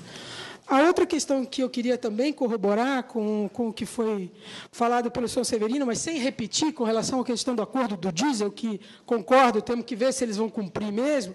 Mas antes disso, hoje já eu gostaria de saber, nós já sabemos qual é o passivo dessa compensação, porque tem no acordo a previsão do cálculo desse passivo e de uma penalização para a Petrobras de alguma forma disso. Ou seja, o fato de não ter começado em 2009 e começar em janeiro de 2012 tem um cálculo a ser feito do passivo que está sendo enfrentado pelas regiões metropolitanas disso aí. E isso a gente já podia ter esse número, acho eu, e levantar ele um pouco assim para ver se esse passivo vai só até janeiro ou se ele vai ter que ser calculado para fevereiro, para março, para não sei o que. Bom, é, e uma outra coisa que eu acho, bom, a, a, as motos é uma vergonha, né? Eu acho que outro dia, não sei se só eu que li no jornal, mas imagino que todos tenham lido, alguém pretendia flexibilizar o número de emissões de motos porque se pretendia importar de determinado país uma, um, um lote X de, de, de, motocicletas que, infelizmente, não, não atendiam o padrão brasileiro e a gente estava disposto a reduzir o padrão brasileiro. Quer dizer, não dá para conversar num negócio desse. Moto é prioridade na emissão e, como disse alguém aqui, que perdão, não me lembro o nome, também de saúde. Que nessa discussão dos cigarros aí, é, do cigarro, não, desculpe, da, da, do aumento lá da, da é, contribuição sem sentido, que é a CSS da saúde, é, diziam que tinha que penalizar o cigarro e, o, e, o, e, as bebidas alcoólicas, porque, afinal de contas, isso financiaria a saúde e eles são, de certa forma, demandantes de serviço de saúde. Eu incluo as motocicletas, que são demandantes de serviço de ortopedia. É, enorme. Passem um dia, passem um dia numa ortopedia de hospital. Ou é atropelamento ou é acidente de moto. Não tem, não tem outra. Ou, ou então caiu do telhado, também tem caiu do telhado e a escada fechou. São três, três grandes é, contribuintes da ortopedia. Então, acho que moto não pode ficar para 2014, concordo com quem falou isso, a gente tem que antecipar essa questão. Moto não é um gênero de primeira necessidade. Moto é um atalho para os problemas coletivos, um atalho individual para os problemas coletivos. Então, acho que tem que ser tratado da mesma forma que o carro. É um veículo individual, particular, igualzinho a, a, a, aos de quatro rodas. Bom, e aí, por último, eu também queria propor que a CETESB fizesse uma divulgação, eu vou dizer que é didática, é, lúdica,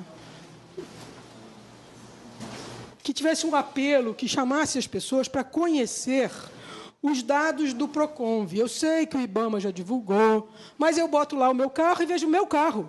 Eu não boto outro carro, outro carro, não faço comparações, não vejo. Eu acho que nós podíamos desenvolver. Os dados são do Brasil. Né? Então, acho que eh, nós podíamos, a CETESB podia, ou a Secretaria do Meio Ambiente, se for o caso, podia desenvolver um sistema em cima desse banco de dados brasileiro que pudesse ser usado como educação como divulgação, como sensibilização, onde a gente pudesse fazer simulações e fazer com que as pessoas se conscientizarem do que é isso, do que são essas diferenças. Acho que ajudaria na campanha eh, de conscientização eh, se eu pudesse ver tudo comparado, tudo combinado, enfim.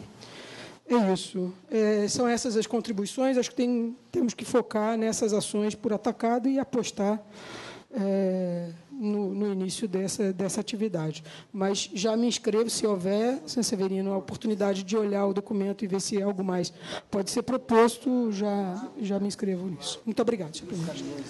Conselheiro Gilberto. Bom, eu tenho sugestão é com relação à renovação de frota. Nós estamos, igual um conselheiro falou aqui, o pessoal vai jogando os, os carros velhos para as periferias e para o interior do estado. Então, nós, lá na nossa região, a gente tem um punhado de garagem que compra e vende carro velho sem, sem controle nenhum. Entendeu? Então, nós temos que, que, que, que transformar isso em política pública e tirar esses carros velhos, esses carros que não oferecem segurança nenhuma para pro, pro, os proprietários. Então, nós temos que ver isso urgentemente, um jeito de fazer alguma lei que proíba a compra e venda de, desses veículos. Por quê? Por exemplo, ônibus velho. Você vai ver as condições que os trabalhadores rurais são transportados no interior do estado de São Paulo. Tem ônibus caindo aos pedaços. Acidente, quando dá acidente, morre todo mundo. Né? Nós estamos por, por, colocando é, vidas das pessoas em risco com, com, esse, com esse, tipo de, de, de política. Descarta, descarta para, as grandes regiões metropolitanas e vende no interior. O cara compra um ônibus lá por, por 10, 12 mil reais e começa a transportar trabalhadores rurais sem condição nenhuma de segurança. Então, isso é, é a minha contribuição. Eu, secretário, eh, desculpa, só, só me emendando o que ele está falando, as prefeituras realmente utilizam esses ônibus que têm o motor na frente para transporte escolar. Respostas agora e comentários do Marcelo e da própria mesa. Eu vou fazer um encaminhamento diferente aqui, senhor secretário.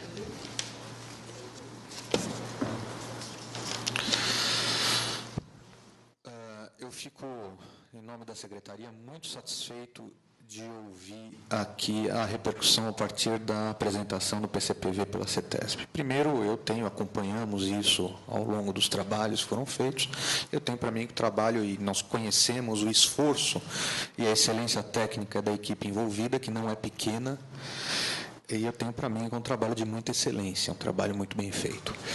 Mas é justamente uh, uh, né, o debate que se seguiu mostra a importância desse conselho, porque não há observação feita aqui que não seja absolutamente pertinente. Nesse sentido, conselheiro Dalari, uh, cortaram sua palavra, é isso?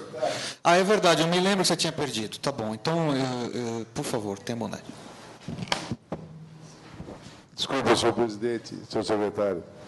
Eh, eu gostaria só de deixar aqui eh, registrado alguns comentários e sugestões que nós fizemos lá na Fiesp, após a análise do plano, e, se possível, que esse documento faça parte aí da nossa reunião de hoje, da nossa ata. Eh, para a Fiesp, é extremamente meritório o esforço que o atual governo vem desenvolvendo no sentido de estabelecer políticas públicas que efetivamente melhorem ou mantenham a qualidade do ar em aglomerações urbanas fortemente impactadas pelo crescimento da frota de veículos rodoviários. Recentemente, esse Conselho que aprovou, por meio da deliberação CONSEMA número 19, de 25 de maio de 2011, o relatório do Grupo Interinstitucional Revisão dos Padrões de Qualidade do Ar e Aprimoramento da Gestão Integrada da Qualidade do Ar no Estado de São Paulo, recomendando que a regulamentação dos novos padrões contemplasse plano de políticas públicas integradas a ser implementado pelo governo do Estado de São Paulo.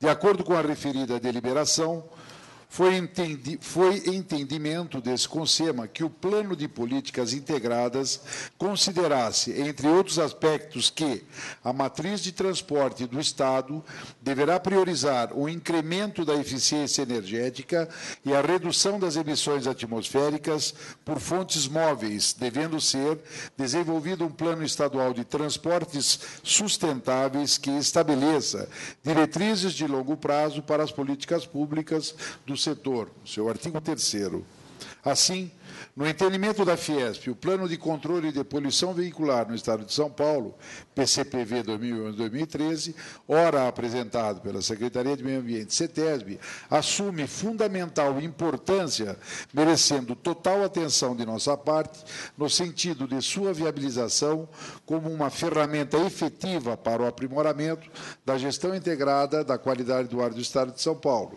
nesse sentido, de forma a melhor contribuir no processo de construção do PCPV e, por conseguinte, com um plano de política pública integrada, destacamos em relação ao PCPV, ora apresentado, os seguintes comentários ou sugestões. No seu item 4, qualidade do ar, padrões de qualidade do ar, em que pese o documento estar em consonância com a Lei Estadual de Mudança Climática, Lei Estadual 13798-2009, página 2 do PCPV, o texto não faz nenhuma menção ao processo de revisão dos padrões de qualidade do ar sugerida pelo relatório do Grupo Interinstitucional Revisão dos Padrões de Qualidade do Ar e Aprimoramento da Gestão Integrada da Qualidade do Ar no Estado de São Paulo, aprovado pela deliberação Consema número 19 de 2011. Destaca-se que a Resolução 34-2011 institui um grupo de trabalho incumbido de apresentar minuta de decreto a fim de que o Estado de São Paulo adote os padrões sugeridos do referido relatório. Nesse sentido, faz-se necessário integrar a base de discussão de forma que o novo decreto possa pautar-se nas diretrizes e ações contempladas pelo PCPV. Indicador básico de qualidade do ar, metas. As ações e políticas públicas propostas pelo PCPV foram pautadas a partir das metas do ano de 2020, a partir dos indicadores básicos que compõem o painel da qualidade ambiental 2010, elaborado pela Secretaria de Meio Ambiente. Foram estabelecidas metas 2020 para o material particulado, 30 microgramas por metro cúbico, e para o ozônio, O3, 3,5% da frequência média de ultrapassagens do padrão atual, 160 microgramas por metro cúbicos, em uma hora. Consta isso da página 7. Para o material particulado, a meta estabelecida corresponde à etapa M3, preconizada pelo processo de revisões dos padrões de qualidade do ar, deliberação CONSEMA 19-2011 novamente, e ao que parece está coerente com o horizonte temporal trabalhado pelo grupo interinstitucional que sugeriu a revisão dos padrões. No entanto, para o ozônio, o PCPV estabelece uma meta baseada no padrão atual expresso em microgramas por metro cúbicos em uma hora, quando a revisão dos padrões em curso preconiza a adoção do padrão expresso em microgramas por metro cúbicos em oito horas, conforme as diretrizes da Organização Mundial da Saúde. Novamente, ressalta-se necessidade de integração da base de discussão de forma a estabelecer metas efetivas de qualidade do ar. E, finalmente, ações de controle e resultados esperados. Em relação às ações de controle apresentadas pelo PCPV, destaca-se que as mesmas não estão devidamente detalhadas, sobretudo no que se refere ao cronograma da sua implantação, às necessidades técnico-institucionais. Será necessário evoluir nesse detalhamento de forma a melhor estruturar o PCPV e estabelecer uma política pública integrada. Muito obrigado, senhor presidente. Eu que agradeço. Então, dando continuidade ao encaminhamento a partir das discussões, é, a discussão prova que, é, de fato, a, a, a proposta aqui encaminhada à mesa de uh, vamos chamar de vistas, não é? Ela ela faz ela é bastante razoável. das discussões todas havidas aqui, nós ficamos discutindo isso por, por, cerca de uma hora. Uh, eu vou dar oportunidade, evidentemente, para os comentários da equipe técnica que fez a apresentação. Porém, antes disso, eu gostaria de destacar é, é, três é, reivindicações aqui que eu queria sugerir ao Conselho que a gente já desse encaminhamento agora, sem esperar, eventualmente, é, uma nova sessão para incorporação de sugestões e etc. A, a primeira a primeira reivindicação que eu gostaria de já encaminhar, é, já sempre pedindo aqui a censura do nosso secretário executivo, se é regimental, é, é consultar, é, é, é, é deliberar uma sugestão, uma recomendação do Conselho para que a gente crie um grupo, que institucionalize um grupo de discussão é, ousada de questões mais no atacado, como bem lembrou a, a conselheira Fernanda, junto à Secretaria da Fazenda. Em dois aspectos. Primeiro, políticas tributárias voltadas à área ambiental. E, em segundo aspecto, incentivo a retrofit e renovação de frota. Retrofit de ônibus etc. Políticas nesse sentido. Evidentemente que nós temos que dar consequência, eficácia e eficiência às ações do Conselho.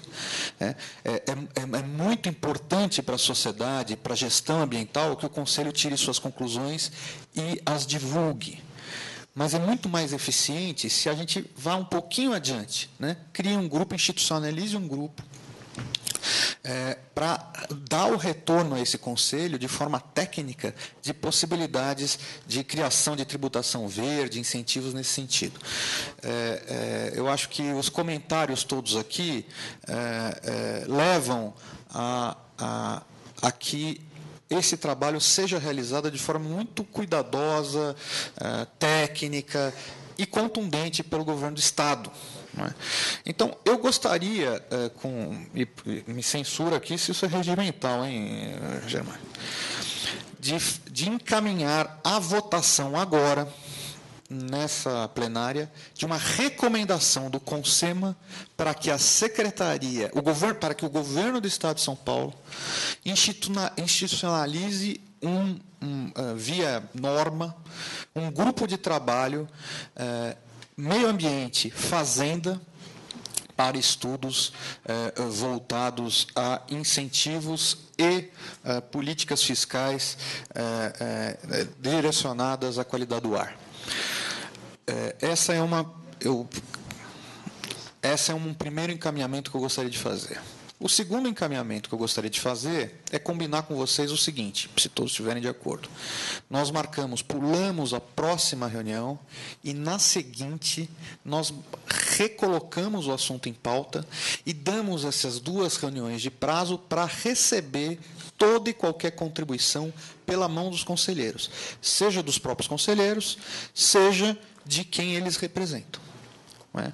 E, e, a partir daí nós organizamos a Secretaria Executiva junto à CETESB, organiza todas as contribuições, reexpõe as contribuições ao PCPV ao Conselho, daqui duas reuniões, e aí a gente fecha um documento. Lembra-se que é o documento do CONSEMA, porque o documento da CETESB está aí. Então, se a gente fecharia um, um documento do com o SEMA. É, a CETESB já deu cumprimento à resolução CONAMA a partir do momento que elaborou e aprovou nas suas instâncias internas o seu PCPV. Então, é, é, nós não estamos dizendo que o PCPV, nós já, já estamos dando cumprimento à norma federal. A CETESB já deu, né, antes desta reunião.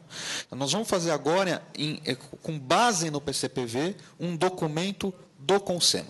Essa era a segunda sugestão que eu faria ao plenário, depois eu vou encaminhar a votação. Deixa eu ver se tem mais alguma coisa. Eu peço um pouquinho de paciência aos senhores, porque foram muitas as contribuições.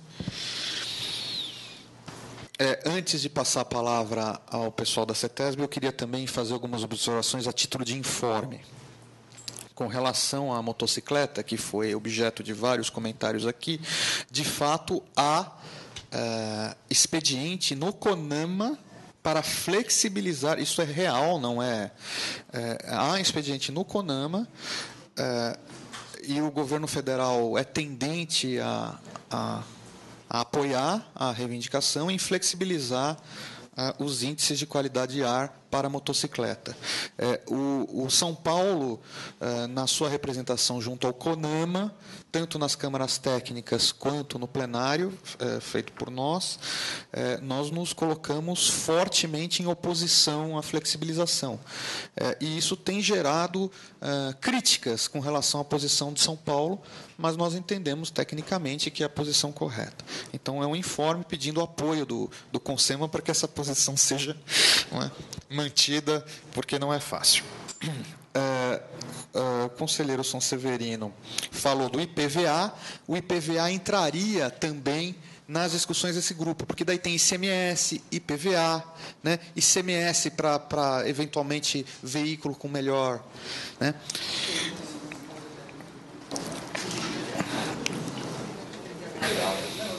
Ah, tem mais um encaminhamento que eu gostaria de fazer aqui, então já lembrei, é o terceiro. Ah, o terceiro encaminhamento é, é, seria justamente a comissão. A, a, a, Secretaria de Desenvolvimento Metropolitano, e isso o, eu acho que o Consema poderia encaminhar, que realmente verificasse a questão do racismo, como é que chama? Racismo ambiental pelos ônibus. Acho que a gente podia deliberar isso aqui, é esta recomendação para que a presidência encaminhasse oficialmente essa. Eram essas três observações.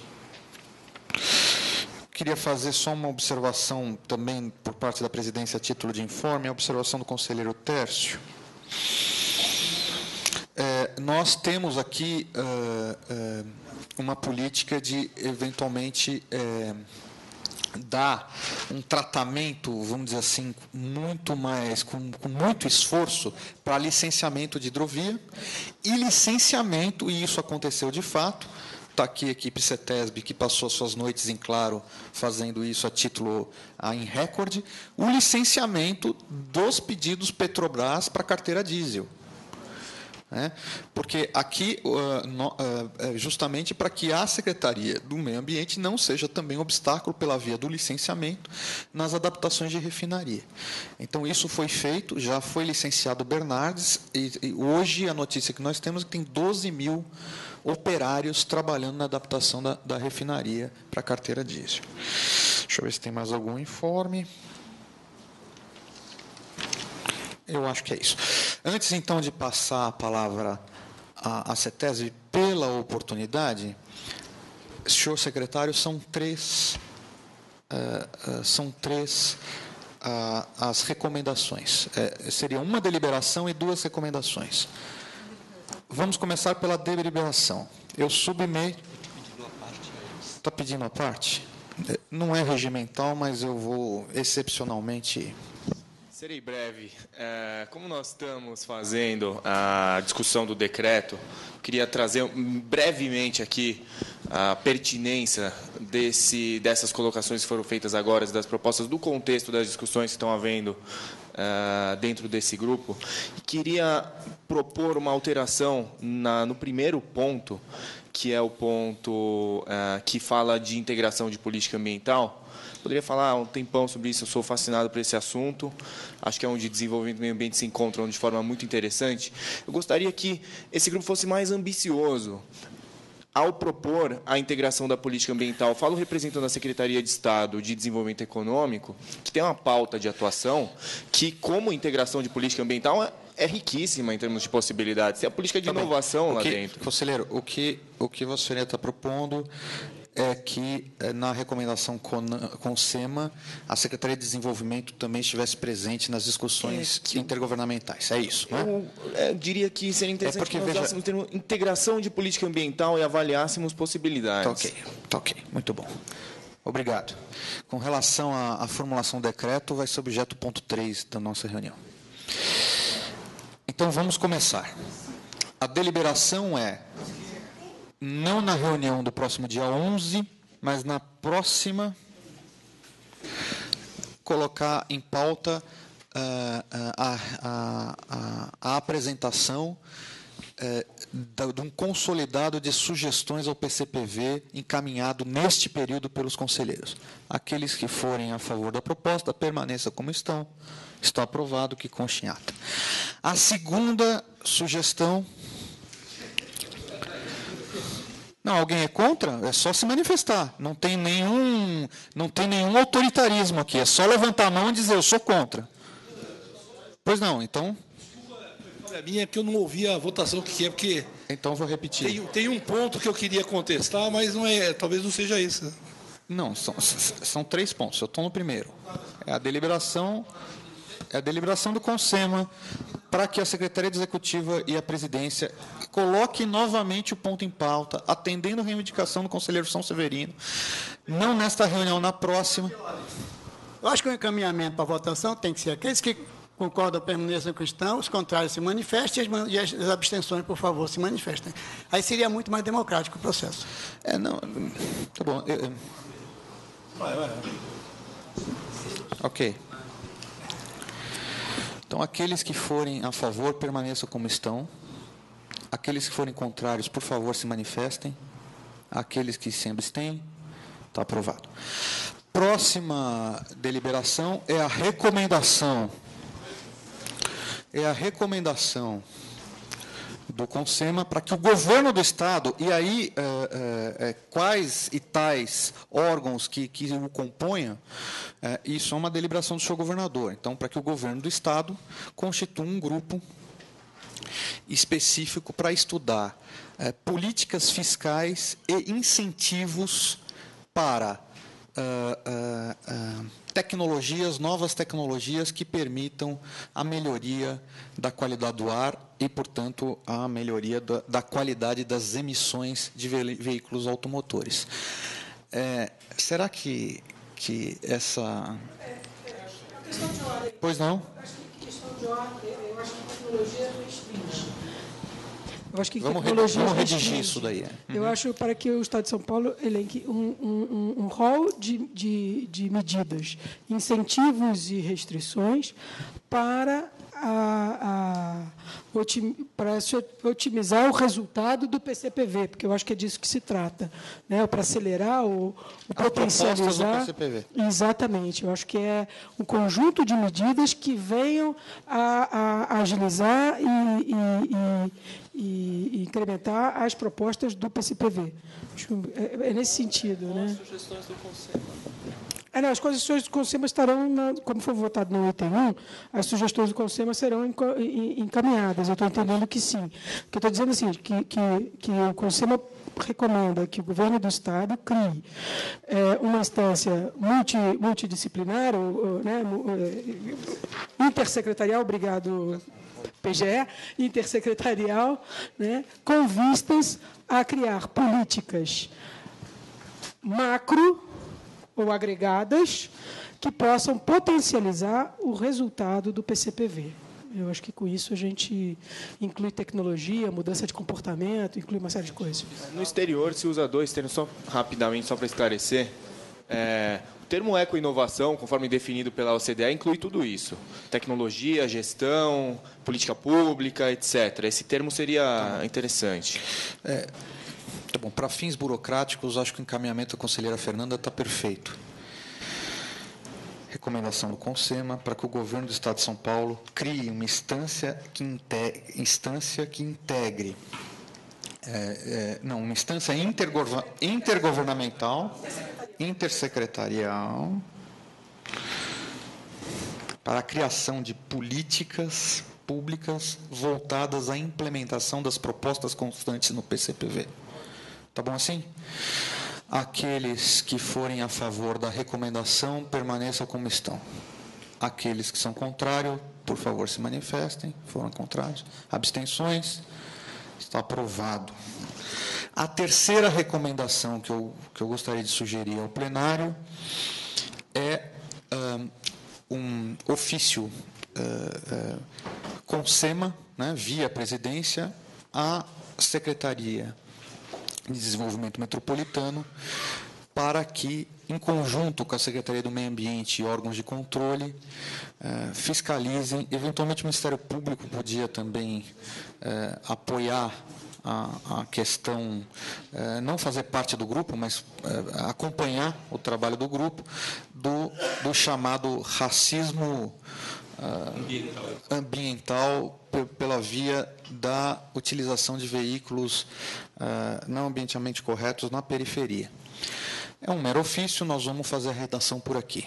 Na periferia e em pequenos municípios. É, é porque daí é, não é uma questão metropolitana, né? Mas tá bom, fazemos dois, ok? Ok, fazemos para os órgãos governamentais envolvidos. Não, tem o retorno, né? Isso daqui, deliberação com SEMA, deliberação com SEMA, obriga a ter um retorno ao plenário. né? Então, é, é, ok? Pois então. É, aqueles que estiveram. é, Veja, esse processo de deliberação é necessário regimentalmente, porque justamente por ser uma deliberação do plenário do Conselho, precisa ser uma deliberação do plenário do Conselho, é que tem essa força institucional. Consta em ata e obriga a presidência a tomar a, a medida. Não é. Ok? Ela tem um sentido. Então, aqueles que forem favoráveis permaneçam como estão. Contrários, abstenções, aprovado também por unanimidade. Muito obrigado, acho que são boas medidas que esse plenário toma hoje, e agora vou passar a palavra para que a equipe técnica da CETESB faça seus comentários. Por qual prazo, senhor secretário? V- vamos. É, dez minutos, por favor, porque nós temos uma pauta extensa ainda a cumprir. Muito obrigado. Obrigado, senhor presidente. Quero agradecer aos conselheiros pelo, por enriquecer o debate aqui a respeito do nosso PCPV. É, me espantou o interesse gritante pelo pro- problema da poluição das motos. E, de fato, ele é importante, mas cabem aqui alguns esclarecimentos. O PROMOTE, que é o Programa de Controle das Motocicletas, foi instituído no Brasil em 2003. E, ainda que com atraso em relação ao controle dos veículos, ele foi quase que simultâneo à implementação de programas similares em todo o mundo. O que significa que é uma novidade esse controle de poluição dos motos, não só para nós, mas para o Japão, para a Europa e para os próprios americanos. Significa também que nós não estamos atrasados nesse quesito. Em 2006, nós tivemos a segunda fase do Promote e, desde então, não são mais fabricadas no Brasil ou comercializadas no Brasil motos de dois tempos, que realmente eram muito poluentes. Então, não existem mais motos de dois tempos comercializadas no Brasil. Se alguém encontrar uma moto nova em uma loja, com certeza seria uma moto pirata, mas não acredito que, que encontrarão. Mas tem uso. Claro, as antigas, fabricadas até 2005. É, em 2014, eu anunciei uma nova fase para o programa de motos, vai ser a fase 4 do Promote. Então, nós estamos numa constante evolução no quesito de melhoria do controle sobre esse segmento. Em 2012, nós teremos o controle de produção das motos fabricadas ou comercializadas. O controle de produção significa o seguinte: os fabricantes deverão, a partir de 2012, retirar motocicletas de sua linha de produção e realizar ensaios e enviar os resultados para a CETESB e para o IBAMA. Mas essas motos já foram previamente licenciadas. Isso é apenas um controle de qualidade dessa produção, que então vai ser implementado em 2000, a partir de 2012. E por último, eu queria comentar que a gente vai ter um laboratório para avaliação de motocicletas naquele complexo de São Bernardo, que vai ser inaugurado primeira fase em 2012 e a segunda fase em 2013. Então, possivelmente, a partir de 2013, a CETESB estará apta a fazer, inclusive, pesquisas, auditorias, eh, ensaios de diversos propósitos com as motocicletas. É, uma questão em relação à municipalização da fiscalização, eu quero esclarecer o seguinte: a CETESB não pretende entregar aos municípios a obrigação da fiscalização, mas ela gostaria que aqueles que tiverem interesse e capacitação ajudassem a CETESB a fazer essa fiscalização de veículos com excesso de fumaça preta. Nós temos nas cerca de 55 agências distribuídas por todo o Estado, cerca de 400 agentes fiscais credenciados a essa fiscalização, agentes da CETESB. Mas é claro que se a gente conseguir multiplicar essa força de fiscalização com agentes municipais, teremos ganhos importantes na questão da emissão da fumaça preta. Em relação a Ribeirão Preto, é, foi perfeita a observação que no relatório constava, de 2009, relatório de qualidade do ar, constava realmente a saturação, mas há, algumas dúvidas. É, duas dúvidas. Primeiro, qual é a causa da saturação? Nós não temos certeza, muito pelo contrário, acreditamos que a causa da saturação de 2009, publicada em 2009 em Ribeirão Preto, a causa deve ser outro motivo que não veículos. Por exemplo, a questão da cana. Além disso, é, em 2010, o relatório de qualidade do ar relativo a 2010 já muda um pouquinho desse perfil de Ribeirão Preto.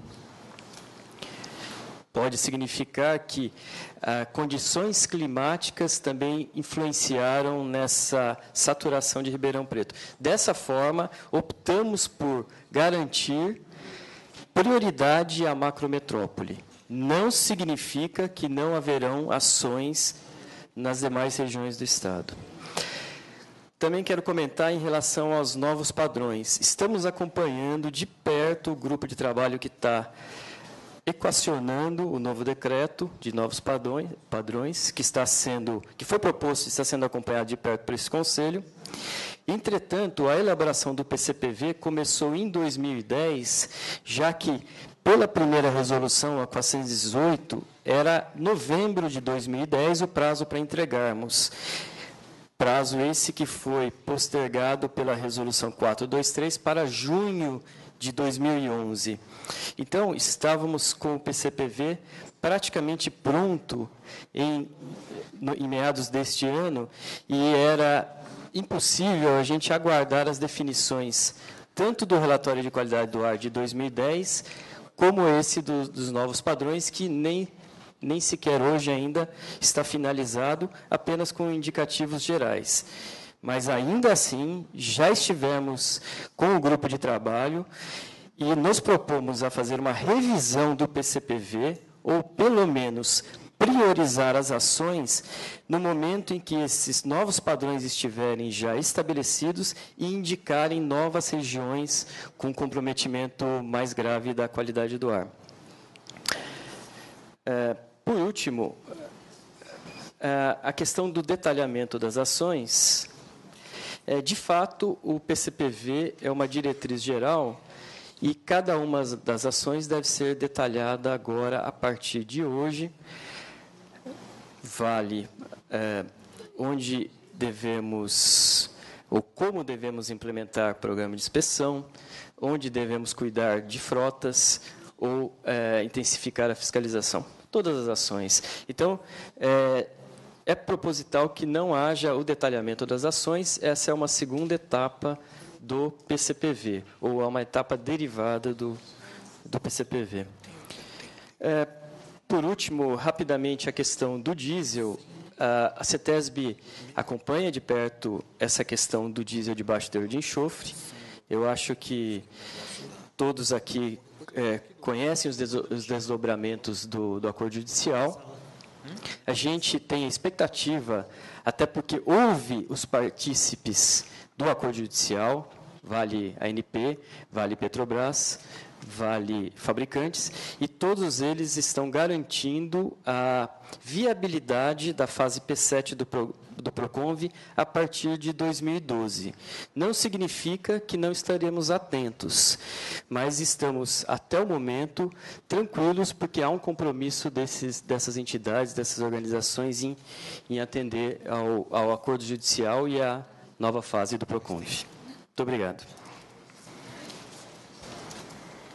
Por favor, conselheiro Severino, rapidamente. Queria agradecer as informações. Sim ou não? Sim, ok.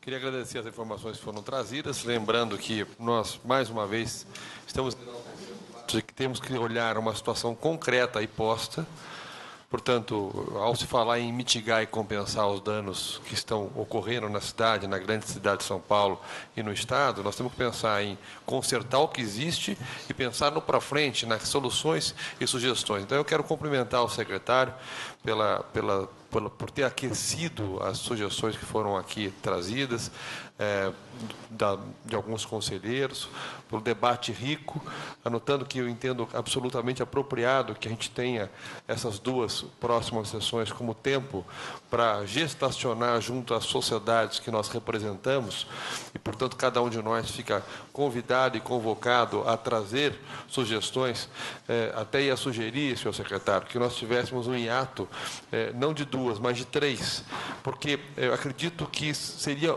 talvez mais apropriado para nós termos aí um melhor trabalho, até porque a gente pode, nós podemos nos organizar para esse debate. Finalmente, nós traríamos é, nessas duas próximas sessões é, as deliberações, as sugestões, e na terceira deliberaríamos sobre aquilo que o Conselho vai encaminhar. Portanto, entendo que é razoável que as primeiras duas nós traz, podemos trazer as sugestões e na terceira criaríamos um material que seria objeto de deliberação. Sobre o encaminhamento da, dessa, desse grupo é, que poderá gestacionar a questão tributária, é, independente da, do encaminhamento formal, acho que o tema poderá ser permanentemente acompanhado aqui pelos conselheiros, que também poderão fazer sugestões de acréscimo a, a este, é, a guisa deste, deste tema. E, é, com relação aos ofícios, eu entendi que o senhor secretário uh, entendeu como procedente as, as denúncias feitas e que nós vamos enviar os ofícios para verificar como é que isto volta. Quero apenas anotar que essa denúncia de racismo ambiental também foi feita pela OAB em sede de Conselho Municipal do Meio Ambiente e que o assunto também está sendo tratado pelo secretário Eduardo Jorge. Muito obrigado. É, eu gostaria de solicitar ao conselheiro Severino se pudesse encaminhar para a presidência uh, subsídios com relação a, a ação proposta pela OAB nos ajudaria na nossa ação também de apoio a essa a, a coibir esse tipo de coisa.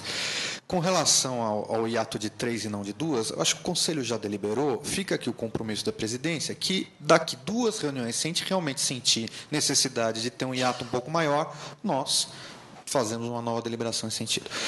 Agradeço muito, uh, uh, a presidência tá, uh, vai, levar em consideração todas e sistematizar, conforme elas forem chegando, todas as sugestões ao plano que foi agora apresentado.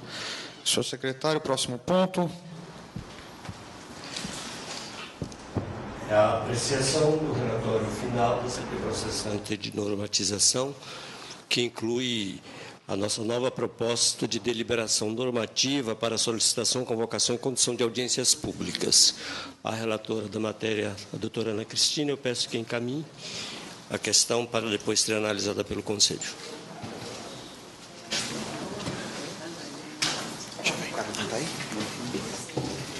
Não tem? É, é, rapidinho, embora sendo relatora dessa comissão, eu participei pouco por conta de, de, outras, de outros compromissos. Quem acompanhou, na verdade, foi minha suplente, a Iraci. mas eu sugiro que a pessoa mais capacitada para fazer, a, é, é, enfim, a relatoria desse assunto é o presidente da comissão, que é o Daniel Smolenski. Portanto, eu acho que a gente combinou que, embora ele não seja o relator, ele, na verdade, foi o que participou de todas as reuniões e está mais apto a fazer isso e se propõe a fazer isso para os senhores. Então, eu passo a palavra para o Daniel. Bom dia, bom dia a todos. É, gostaria então é, de dizer aqui que no âmbito da comissão temática de processante de normatização, nós elaboramos uma nova minuta sobre as normas, uma normatização da realização de audiências públicas no Estado de São Paulo. Então, é uma norma procedimental, são várias minúcias do, da realização da audiência pública. Essa norma ela foi elaborada uh, juntamente com a consultoria jurídica da pasta, participou da elaboração da norma. Uh, é uma norma singela, uh, sem maiores ah, consequências aí, é só mesmo a normatização da realização da audiência pública. Ah, os senhores receberam o texto, ah, nós fizemos umas pequenas alterações formais que foram recomendadas pelo parecer da consultoria jurídica. Fico à disposição se houver alguma dúvida, mas entendo aí que, a, que é uma norma simples, acho que não, não, não deve haver maior dificuldade. Obrigado. Bom, está em discussão. Conselheira Karina, por favor.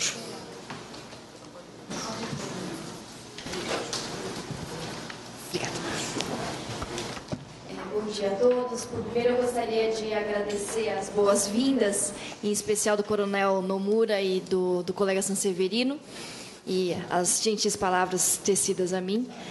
É, na verdade, eu participei da última reunião da, da comissão técnica né, e fiz uma sugestão que não, foi acolhida, mas eu gostaria de acho que a, a, dona Iraci vai ficar brava comigo, mas eu gostaria de voltar a, a novamente solicitar a inclusão.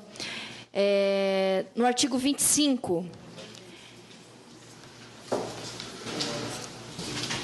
é, menciona-se os documentos que forem apresentados à mesa é, da, na audiência pública.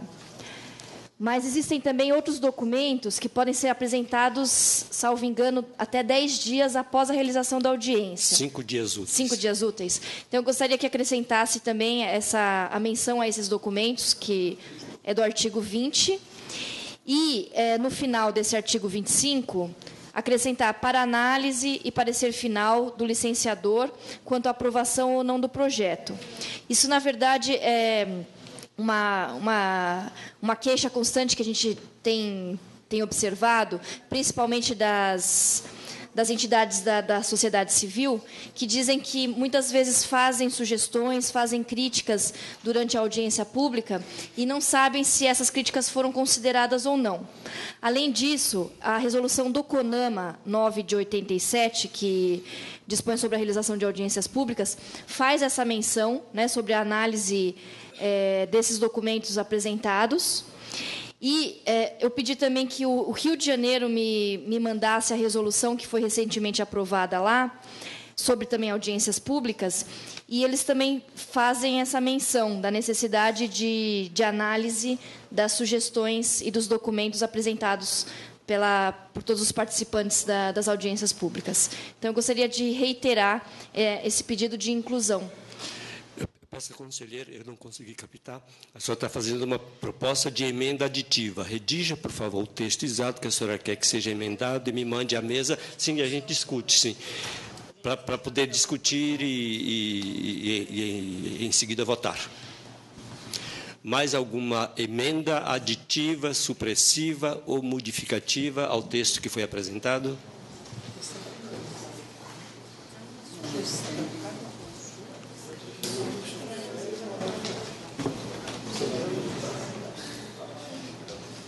É, bom dia, Jefferson Rocha, Bom dia, Germano. Bom dia a todos os conselheiros. Na verdade, é uma dúvida minha nesse momento que eu não.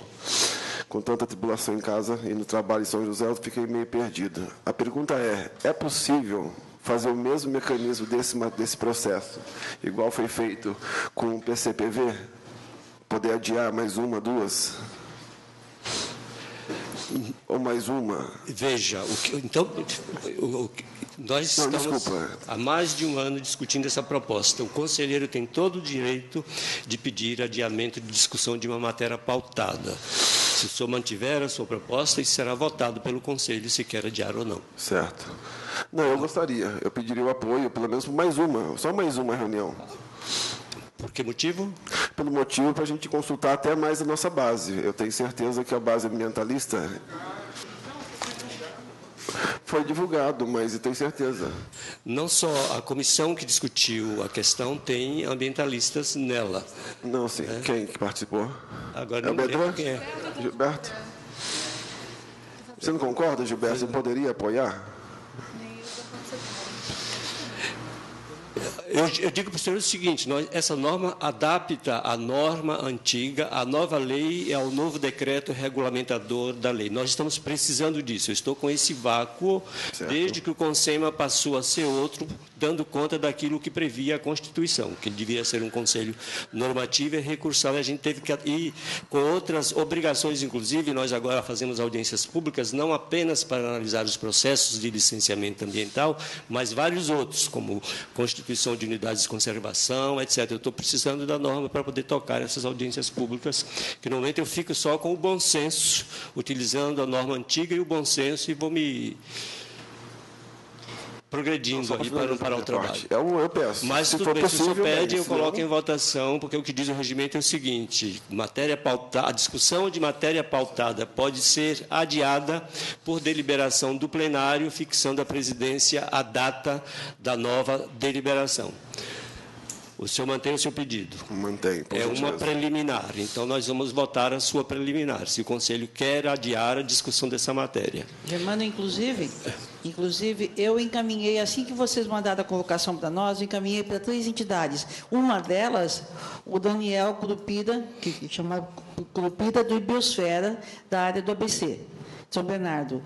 Há cinco dias, pelo menos, até hoje ele não respondeu. E ele que mais questionava sobre isso. Não respondeu. Eu mandei mais duas entidades. Dormientibus ius non succurit. É. O- o dir- Hã?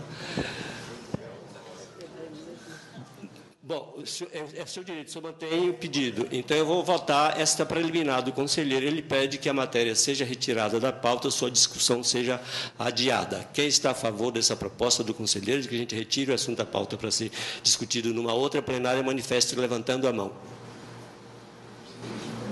Ninguém. Então, você sozinho. Então, e quem é contrário, que se adie? Todo mundo. Então, nós vamos discutir hoje, lamento, seguimos o regimento. A, a conselheira Karina tinha feito uma proposta aditiva, uma emenda aditiva. Eu pe- pergunto quem tem mais emendas, ou aditiva, ou supressiva, ou modificativa daquilo que está na norma. Conselheira Fernanda? É, eu gostaria que eu gostaria de me manifestar, mas eu vou esperar o, conhecer o exato teor do que foi mencionado pela conselheira, porque eu quero entender o que ela quer Tá. para poder me manifestar. Então, eu gostaria de Perfeito. me É, reservar após a leitura. A área de tá? licenciamento também quer. Também, tá.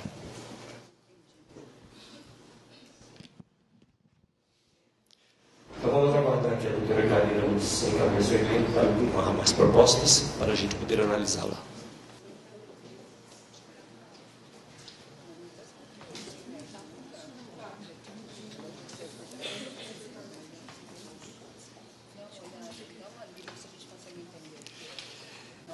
Então, a proposta dela para o artigo 25 é uma emenda. Ah, bom, a senhora reescreveu todo o artigo, fazendo uma mudança, é isso? Então, ela muda o artigo para com a seguinte redação: o registro, a ata e todos os documentos apresentados à mesa da audiência pública, bem como os documentos mencionados no artigo 20, serão encaminhados ao órgão ou entidade responsável pelo licenciamento ambiental, atividade, projeto ou programa, para serem anexados ao respectivo processo administrativo para análise e parecer final do licenciador quanto à a aprovação ou não do projeto. Aí, licenciador teria que incluir os outros também, porque agora nós não estamos tratando apenas de audiência pública para licenciamento, mas, mas também ainda para não outras entendi questões. o, o escopo dessa proposta. Por favor. O que, que a senhora quer que faça? Verdade, é isso que eu não entendi. A gente recebe, e sempre que a gente recebe, a gente, a gente necessariamente, o CONSEMA, seja lá onde chega essas contribuições ou na audiência pública, é, isso é encaminhado para, para, o- para o órgão que faz o licenciamento na CETESB, isso todos os membros da equipe que estão analisando o, o que for tecnicamente pertinente a gente inclui, incorpora, cobra do empreendedor, enfim. Isso aí, no final, faz parte do parecer, como, como todos os outros documentos que a gente recebe, técnicos e, enfim, sugestões. E é, mas é, é isso que o senhor está pedindo? Que eu, é, na verdade, não entendi. Isso que a gente já faz normalmente. Então, na verdade, o a, a reclamação que a gente ouve é assim: ah, eu participo de várias audiências públicas, mas tudo que eu falo não é considerado, não me dão resposta. É, então, é- essa- essas são as críticas né, que, são, que, a gente, que a gente tem recebido. É, na, a- na- na reunião, a, a doutora Iraci disse que seria impossível essa análise individual de cada documento apresentado. Ah, então só quer que a gente dê um retorno para quem pediu. Pelo menos para dizer que. Pois é, não, é, é. Não, análise é feita, sempre é feita. Isso a gente diz quando o Germano abre a audiência pública toda vez, eu não fui nas últimas, mas ele sempre diz que tudo que é recebido é incorporado. A gente não cita tudo no EIA, mas na verdade, no parecer.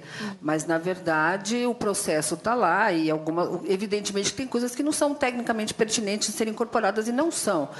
Então, na verdade, né, a gente tem muita reclamação que, que acho que é até legítima, mas que tecnicamente não se sustenta. Enfim, a gente bu- procura buscar a resposta porque de fato é, é- é pertinente. Agora, o, que, como é que a gente dá Então, esse? na verdade, é. a, a doutora Iraci disse que tudo era analisado mesmo, né? Então, eu não vi, não, não consigo entender por que não colocar esse, esse aditivo. Mas. É, eu queria fazer a minha intervenção agora, porque agora eu entendi um pouco melhor. E eu entendo o seguinte: se trata de garantir que eles sejam vistos. Isso. Isso está. Já está garantido na redação que está aqui. Porque eu entendo o seguinte: o mais importante é que eles sejam ane- para serem anexados ao respectivo processo administrativo. Então, no mundo é, é, formal, tudo que está no processo é considerado, analisado e, e- e- é objeto de, de, de, de- preocupação da área técnica. Quer dizer, dizer mais do que está dito aqui é só dizer a mesma coisa. Eu, eu, particularmente, se vai para o processo, que é a coisa mais importante, quer dizer, foi para o processo, está pensado no processo, haverá uma manifestação posterior a isso, na folha seguinte, está considerado. Não vejo como ser diferente. né? E eu fiquei tranquila quando a gente Eu acho que é um um- em excesso. Se a norma foi feita para ser singela, é um excesso. né? Só, só uma coisa, é, eu, nós assim fizemos essa discussão na reunião da comissão e até o doutor Daniel, enquanto advogado, procurador do Estado, fez uma grande explanação para clarear essa questão e é, dizendo isso mesmo. É, a coisa mais importante de um, de, é, um interessado, quando entrega um documento, seja na audiência pública, seja no e-mail, ou seja aqui no balcão do, da CETESB, é que este documento seja pensado ao processo. Então, foi feita assim, uma, uma discussão grande e me deu tranquilidade de sugerir essa redação. Diga, conselheiro Daniel. É, nós na, na comissão nós debatemos bastante esse tema, né? E entendo a preocupação da, do Ministério Público, da doutora Karina, mas realmente é, é o que os colegas aqui que me antecederam já falaram. Ah, essa preocupação ela está contemplada tanto no artigo 20 como no artigo 25 na medida em que nesses dispositivos se garante que qualquer manifestação por escrito, tanto na audiência pública como fora dela, seja anexada ao processo administrativo. em sendo anexada, é obrigação do órgão ah, que vai apreciar esse, esse processo seja no âmbito do licenciamento ou não, porque essa norma não trata somente de licenciamento ambiental, ela trata da realização de, audiência, de audiências públicas em outras oportunidades, mas estando esse documento no processo, ele será analisado. Se não for analisado, os meios de controle, tanto interno da administração pública como externo, Ministério Público, por exemplo, ou associações civis, podem então ah, trazer a questão a outras instâncias e aí ah, apontar uma falha no procedimento, dizendo: olha, há um documento, a folhas tal, que fala isso e sobre isso não, não houve manifestação, isso não foi considerado e isso seria relevante para o estudo, para o licenciamento, para a implantação da unidade de conservação, etc. Bom, obrigado. A senhora mantém a sua proposta? Não, a minha proposta é essa, é deixar a redação como... Então, eu vou fazer o seguinte: eu vou votar o documento e vou destacar a sua proposta para uma votação em separado. E veremos o que acontece. Tá bom? Quem está, portanto, a favor da aprovação da nova proposta de deliberação normativa, é a nossa primeira deste ano, é, sobre solicitação, convocação, realização de audiências públicas, manifeste-se levantando a mão.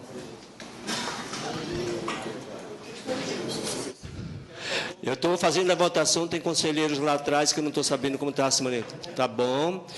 Todo mundo vota a favor, menos o conselheiro com uma abstenção. Todos falaram com uma abstenção. Duas abstenções. Todos favoráveis, com duas abstenções. Agora vamos votar em separado a proposta da conselheira Karina. É necessário que eu a leia de novo? Não, ela na verdade está dando uma nova redação ao artigo 25, que já foi lida. Então, quem está a favor desta emenda modificativa a este artigo, com essa redação proposta pela conselheira Karina, manifeste-se levantando a mão nem ela própria levantou a mão.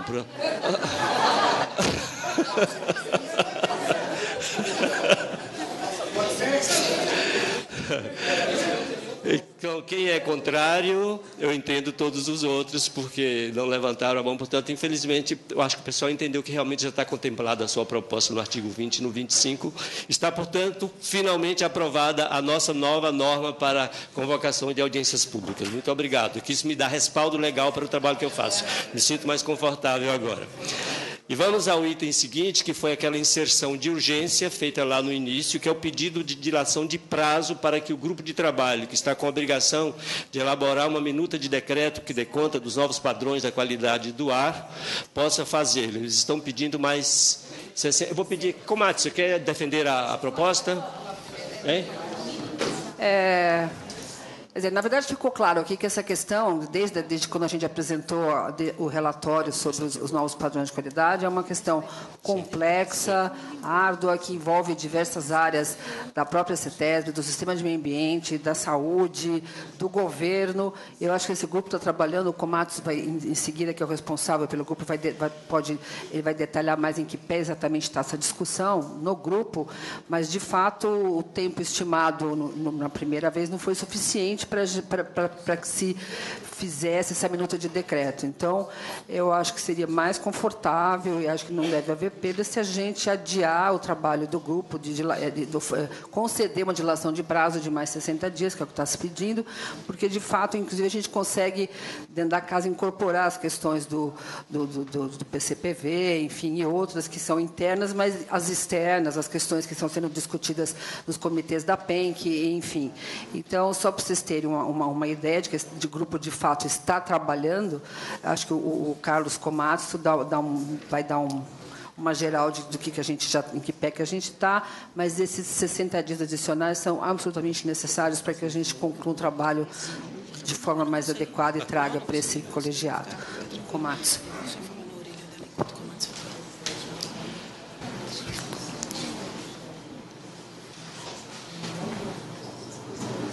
Então, é, faz parte desse grupo, né, Secretaria de Desenvolvimento, Secretaria da Saúde e Secretaria do Meio Ambiente. Né? Eu coordeno o grupo, a gente teve um prazo inicial de 60 dias para incorporar os novos padrões é, de qualidade do ar no decreto estadual e a gente concluiu a primeira etapa do trabalho, né, que era justamente incorporar os novos padrões dentro do nosso decreto estadual. E agora a gente está tendo o cuidado, né, e acho que é por isso que a gente precisa de um prazo adicional, a gente está tendo o cuidado de verificar todos os reflexos dessa alteração do padrão de qualidade do ar nos outros artigos do nosso decreto. Né? É, especialmente no que se trata do, da fiscalização, do licenciamento e mesmo nos programas de controle, até como dentro do, do próprio PCPV. Então, eh, não se trata simplesmente de uma revisão de números, né?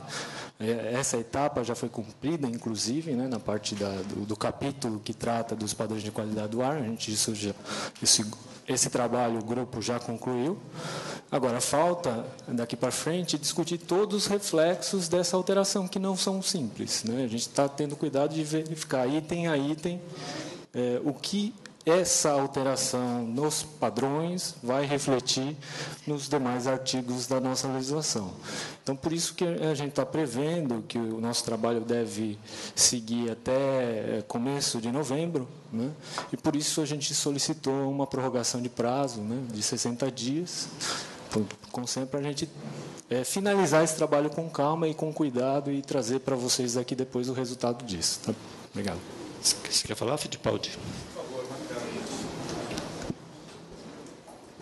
Nome da Secretaria de Desenvolvimento, que faz parte desse grupo, eu queria corroborar as palavras da Ana Cristina e do Carlos.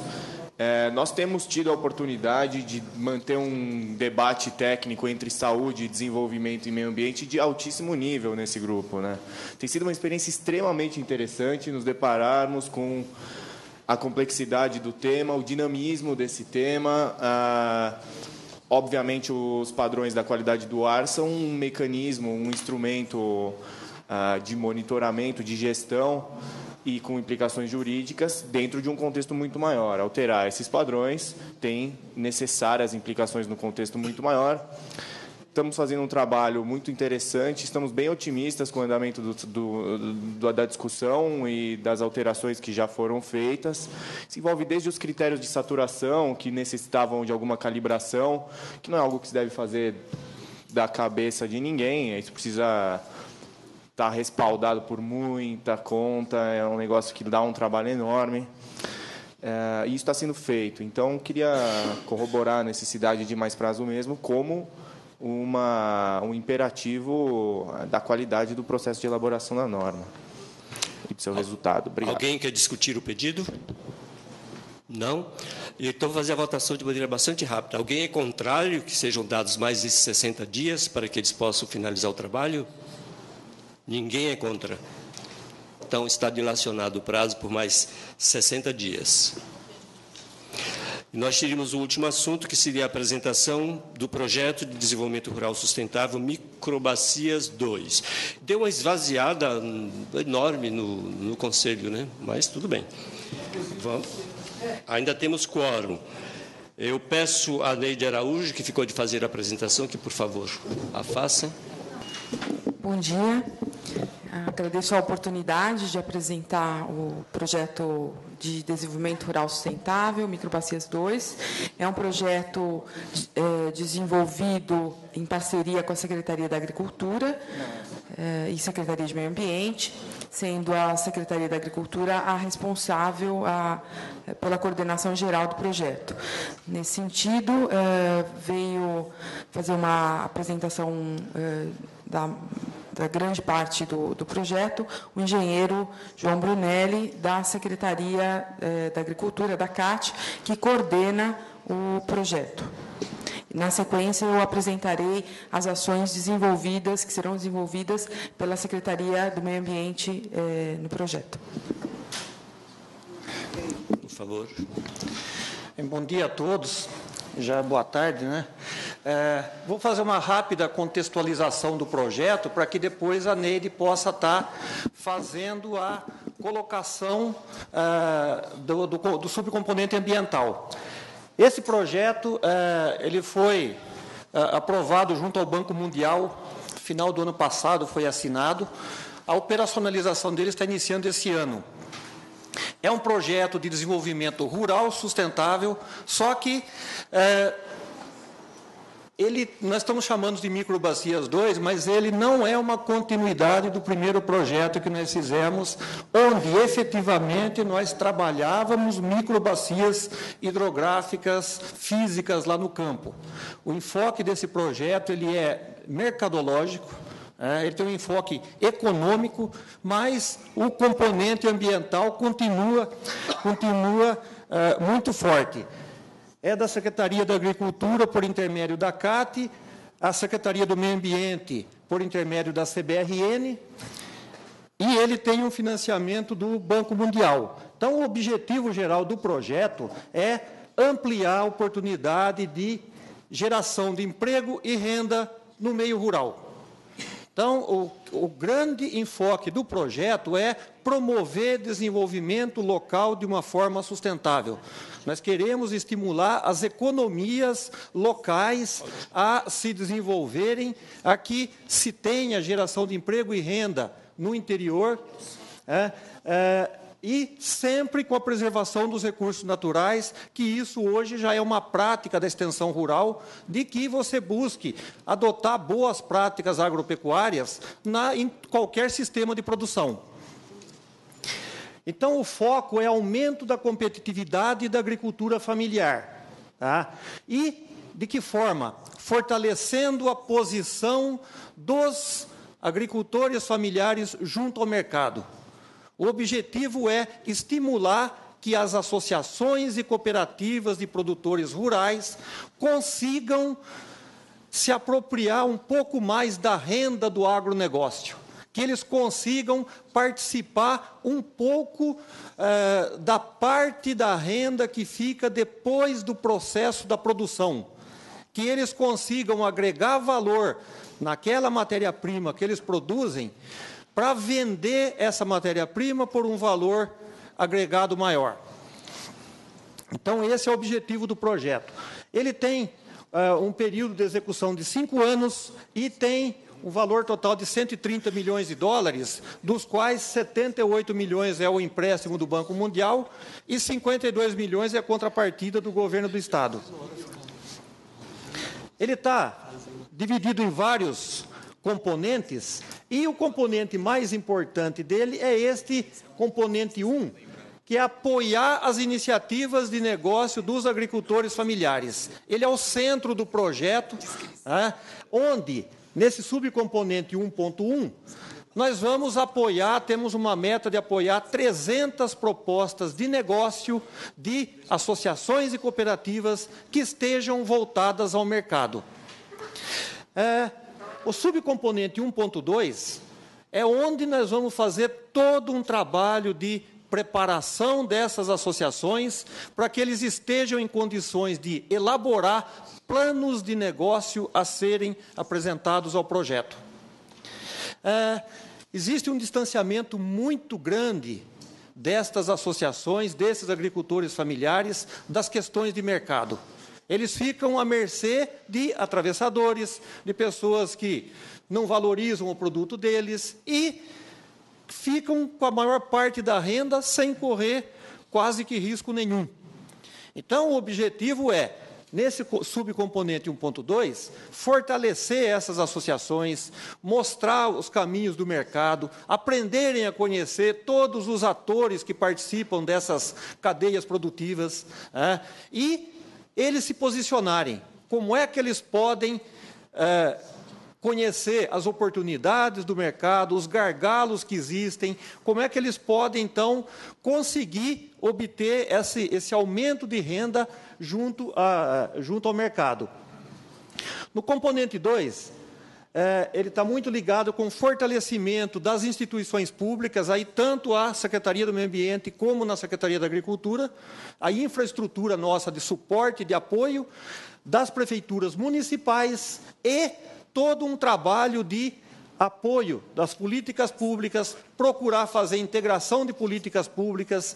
Existem já algumas políticas públicas em nível federal é, que vêm de encontro ao que a gente está propondo no projeto. Hoje, a Secretaria da Educação, as prefeituras municipais já compram 30% da merenda escolar, da agricultura familiar do, do, do local das associações. Então, é, isso leva essas associações que estão participando do projeto, essas associações, hoje, elas já estão sendo obrigadas a ter uma profissionalização. Por quê?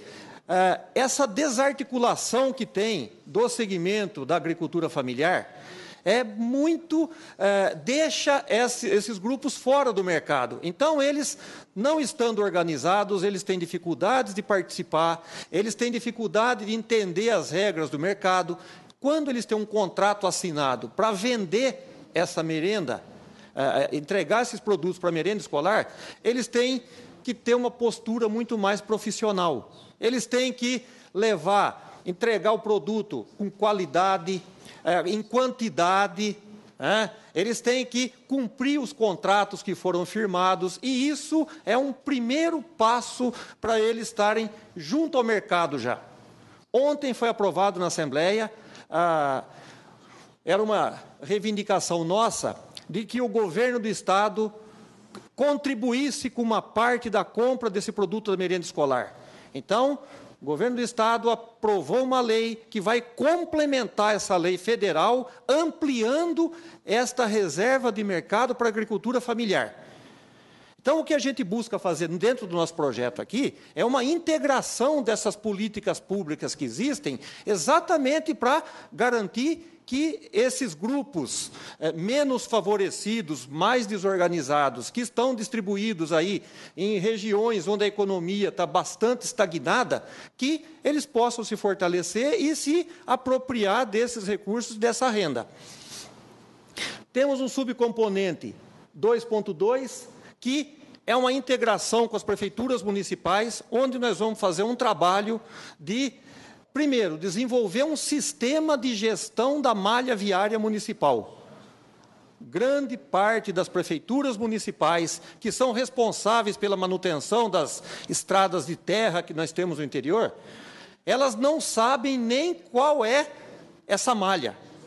Eles nem têm isso mapeado, quanto mais saber quais são as dificuldades, os trechos críticos, as restrições que tem de trânsito nessa, nessa rede.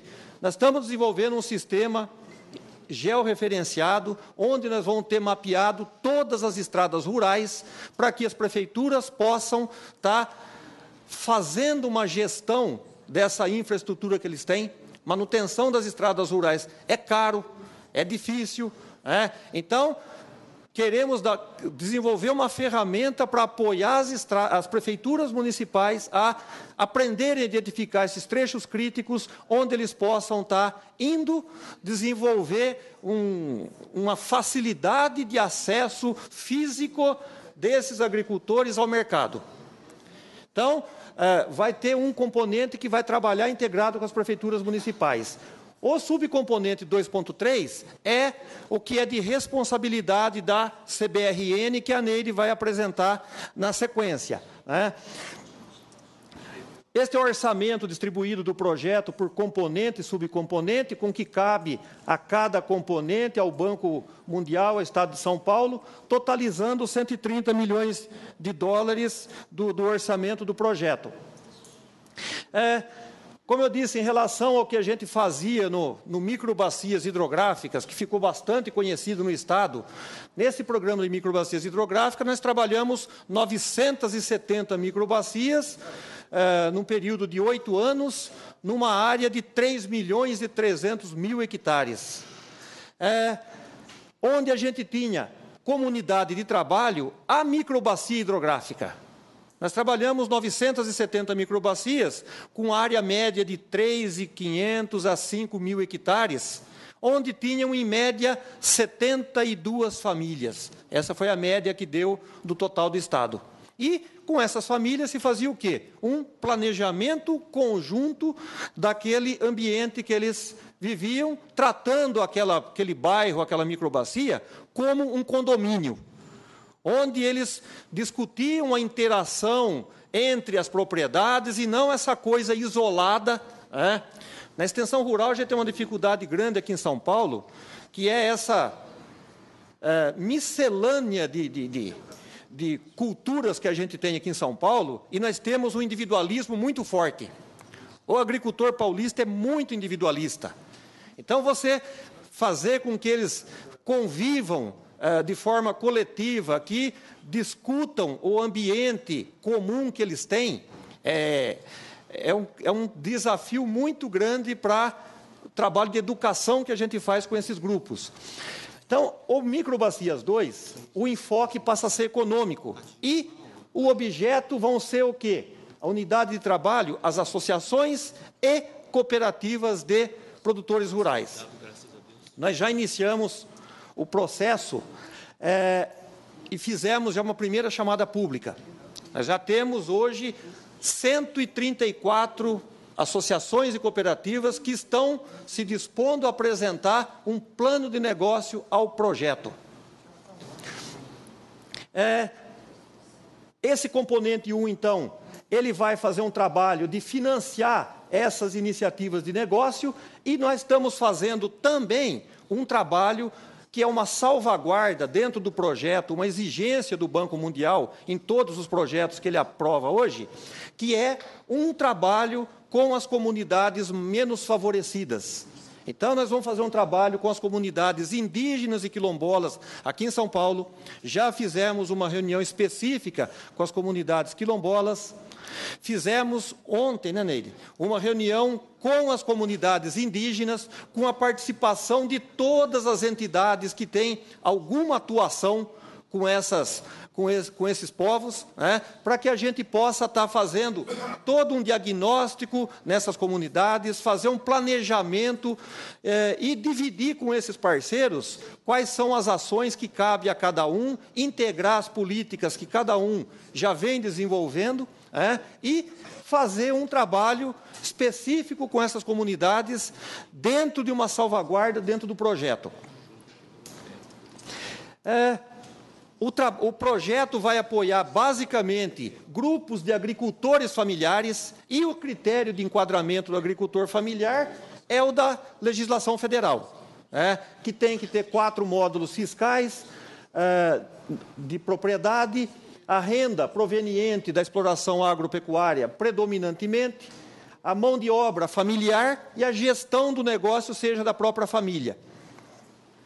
Também estão incluídos os pescadores, eh, os pescadores artesanais, os indígenas e quilombolas também estão dentro do critério da lei.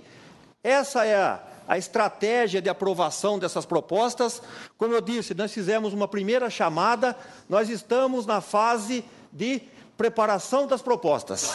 Então, as, as associações têm agora 90 dias para desenvolver um plano de negócio e vão submeter ao projeto.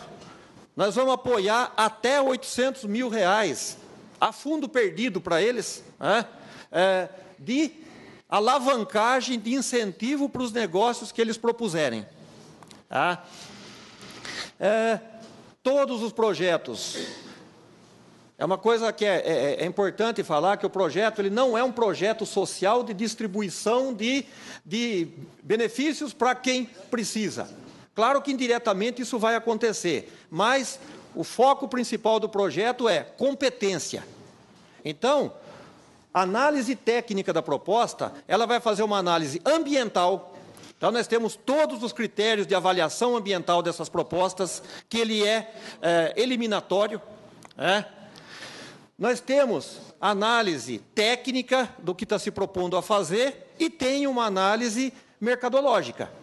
Se aquele negócio não mostrar viabilidade de mercado, é, se nós não é, visualizarmos que aquele negócio se sustenta junto ao mercado, ele tem que obter uma nota mínima. Então, temos os critérios de qualificação, as notas de corte e, à medida que nós tenhamos o orçamento nosso anual, nós vamos apoiando as iniciativas que que estejam sendo apresentadas. Cada associação pode apresentar quantas propostas ela quiser, até que atinja um teto de 800 mil.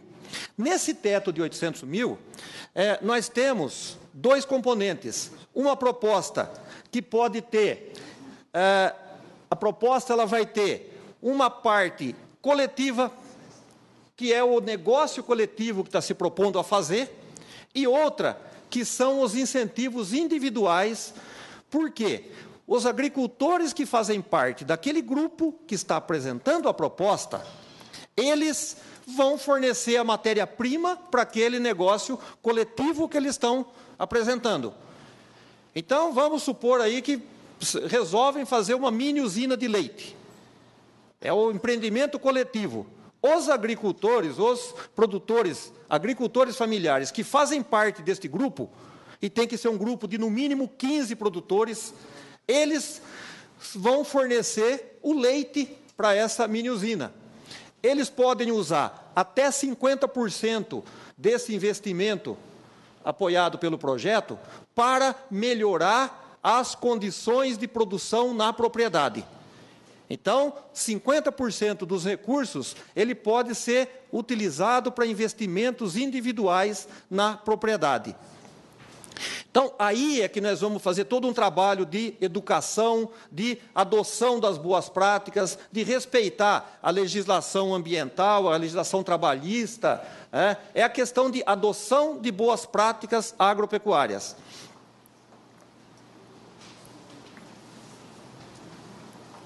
Esse aqui é o que a Neide vai falar.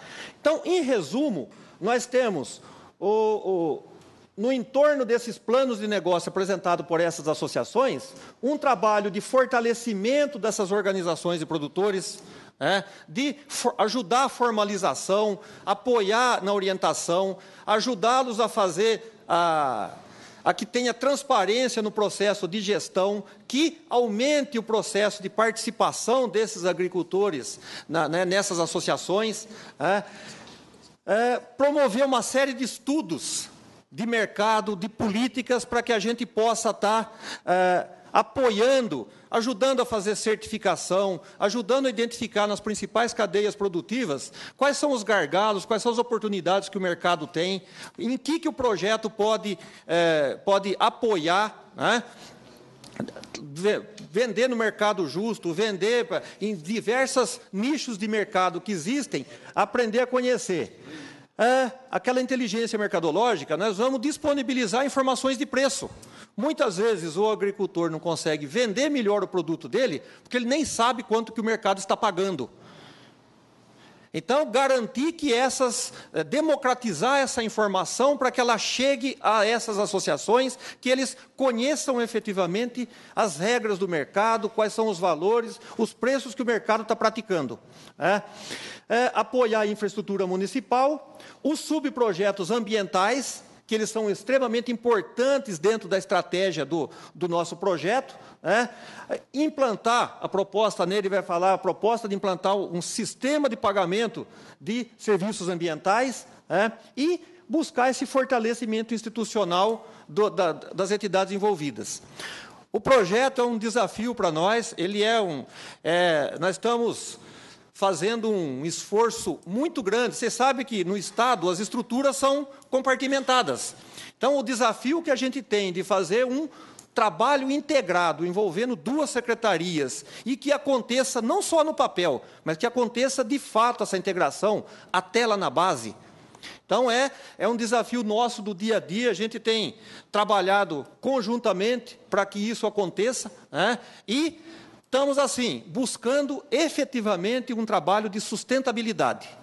É, que a gente consiga promover esse desenvolvimento, que se consiga e buscar essa, uh, esse desenvolvimento local e que seja de uma forma que seja de uma forma sustentável. Aqui alguns dos objetivos do projeto, né? e uh, basicamente eu coloquei isso aqui rapidamente só para vocês terem uma noção global do projeto, que o projeto se propõe.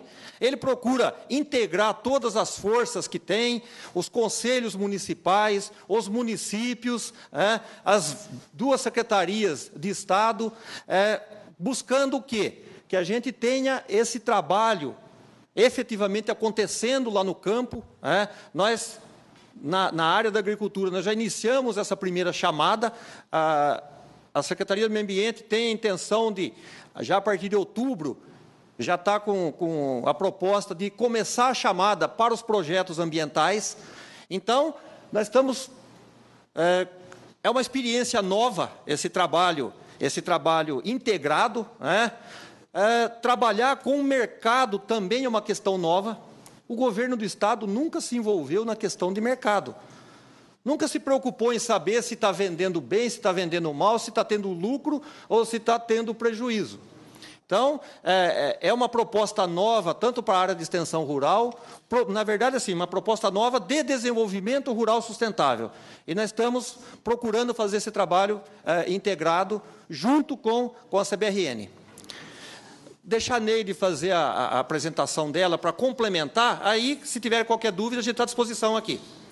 Nesse projeto, a, a CBRN, a Secretaria, é, vislumbraram a oportunidade de é, trabalhar buscando é, atividades econômicas viáveis em áreas que são importantes sob o ponto de vista ambiental, que que permitiriam aos é, pequenos agricultores familiares é, se manterem nessas áreas estratégicas do ponto de vista de conservação, proteção de recursos naturais, é, e, e, de forma sustentável, tanto do ponto de vista ambiental, como a, a atividades também sustentáveis do ponto de vista econômico. Então, a, a Secretaria do Meio Ambiente vislumbrou essa possibilidade de fazer algumas experimentações é, relacionadas a atividades produtivas e também relacionadas à temática de pagamento por serviços ambientais. No projeto, nós vamos uh, desenvolver, vamos ter duas atividades uh, fins, uma relacionada a pagamento por serviços ambientais, ampliando as os trabalhos já iniciados na secretaria com recursos orçamentários eh, no projeto Mina d'Água. Então, o PDRS Microbacias 2 vai dar uma oportunidade de ampliarmos esse, eh, esse o uso desse instrumento eh, para fazer a remuneração por serviços ambientais prestados, tanto relacionados a recursos hídricos como florestais.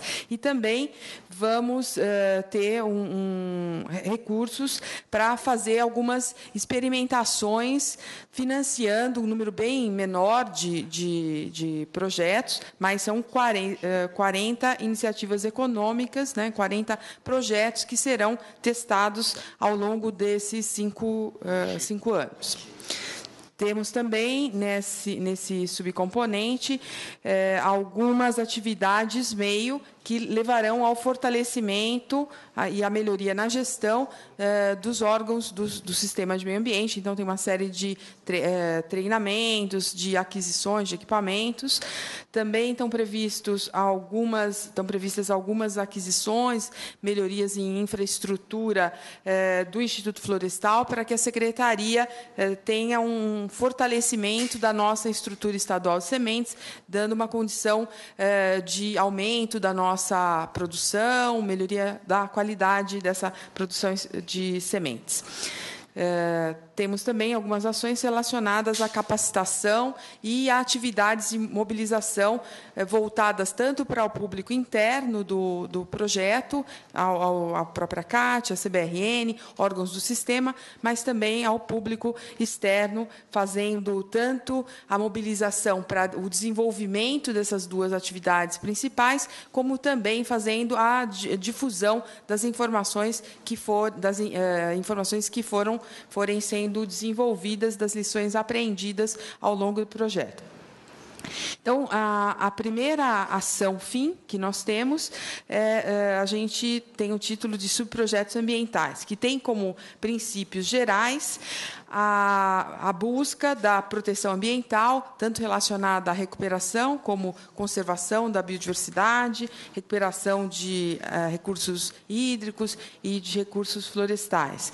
Também todos os, os subprojetos que serão financiados, eles têm, têm, um, têm um mote na busca da inovação. Inovação essa entendida uh, tanto do ponto de vista da, do aperfeiçoamento ou do desenvolvimento de novos produtos, novos processos ou novos serviços, é, bem como o, o desenvolvimento de serviços, processos ou produtos novos para uma certa região. Né?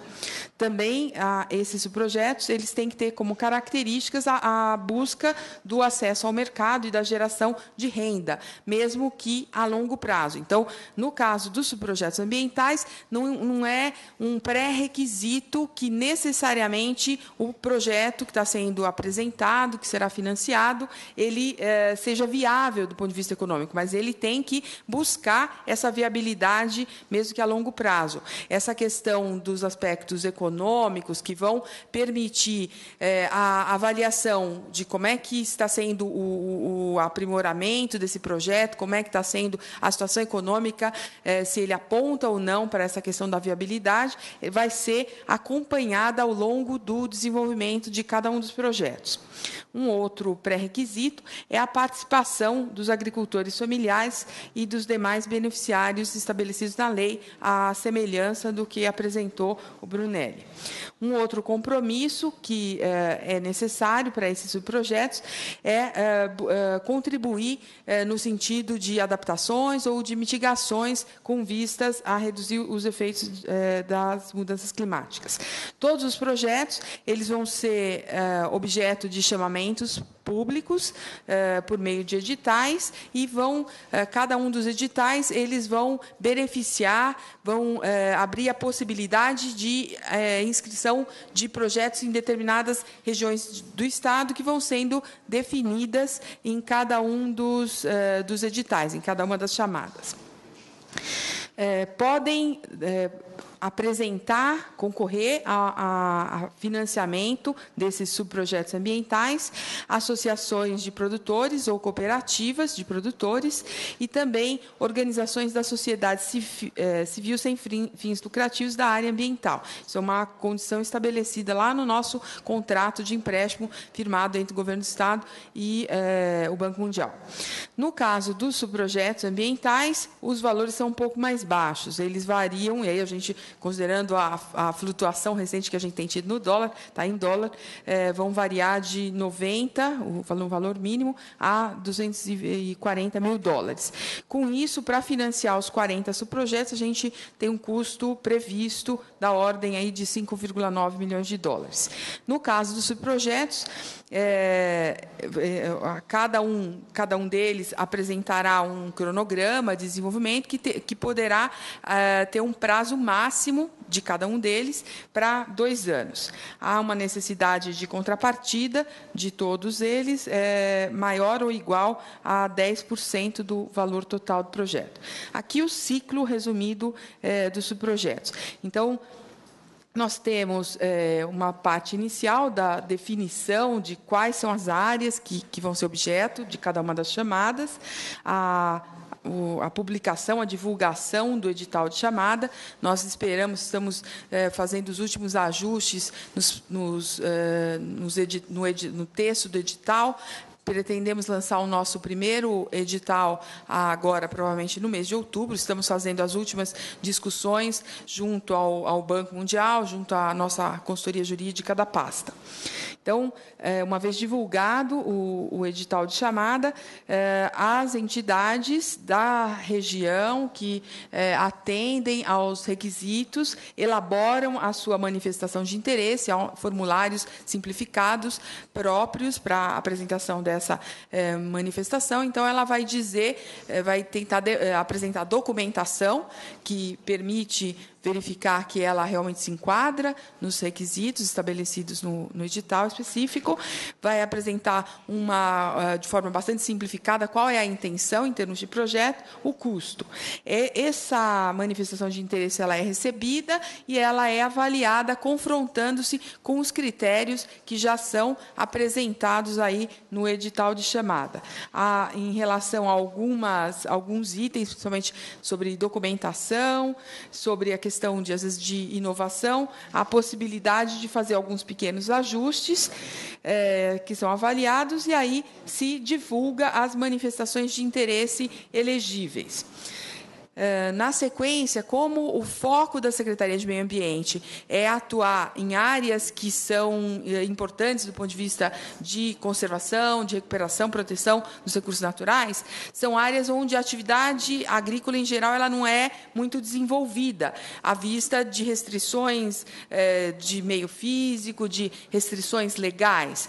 Então, por conta disso, normalmente as organizações proponentes, em especial as associações associações de produtores, as cooperativas, elas têm uma capacidade de proposição um pouco uh, menor do que a, a aquelas que atuam em áreas uh, onde a agricultura já está mais consolidada. Nesse sentido, foi previsto que a, a secretaria ela fornecerá um apoio nessa etapa seguinte de elaboração das propostas. Então, a secretaria contratará é, empresa especializada na elaboração de propostas, que conheça também ah, questões de sustentabilidade, questões de, eh, de econômicas, para apoiar essas entidades na apresentação das propostas. Né? Essas, essas empresas, então, elas também eh, apoiarão no sentido de divulgar quais são os formulários, como preencher os formulários de apresentação de, de projeto. Na sequência, é, já nessa etapa também é, as, as, é, os proponentes eles serão capacitados em relação às preocupações ambientais que eles terão que obedecer, que é, que eles terão uh, que levar em conta para que sejam projetos sustentáveis. Na sequência, essas propostas são apresentadas e avaliadas, uh, considerando as regras fixadas no edital, algumas aprovadas, elas serão classificadas, tem a fase recursal, as, as propostas melhor classificadas te, serão avaliadas sobre o ponto de vista ambiental, uh, para verificar a situação de necessidade necessidade de eventual autorização, de licenciamento, no sentido de é, fixar diretrizes sobre recuperação de áreas de, de APPs, de reserva legal nas propriedades que participarão. E, é, na sequência, a Secretaria firmará termos de convênio. Então, os, os, recursos eles serão repassados através de convênio com um cronograma estabelecido lá no, no projeto. Né? E, na sequência, a gente tem a fase de implantação e de monitoramento desses trabalhos, tanto do ponto de vista de, eh, de cumprimento dos compromissos ambientais que forem firmados, do ponto de vista de atendimento às metas que forem sendo firmadas, né, que forem fixadas em cada um dos projetos, e também do ponto de vista de avaliação econômica, para verificar se aquele projeto, se ele, ao final do seu desenvolvimento, ele sinaliza que aquela alternativa para aquela característica de área de restrição, se é uma, uma alternativa boa que pudesse ser replicada por outras associações, por outros pequenos proprietários.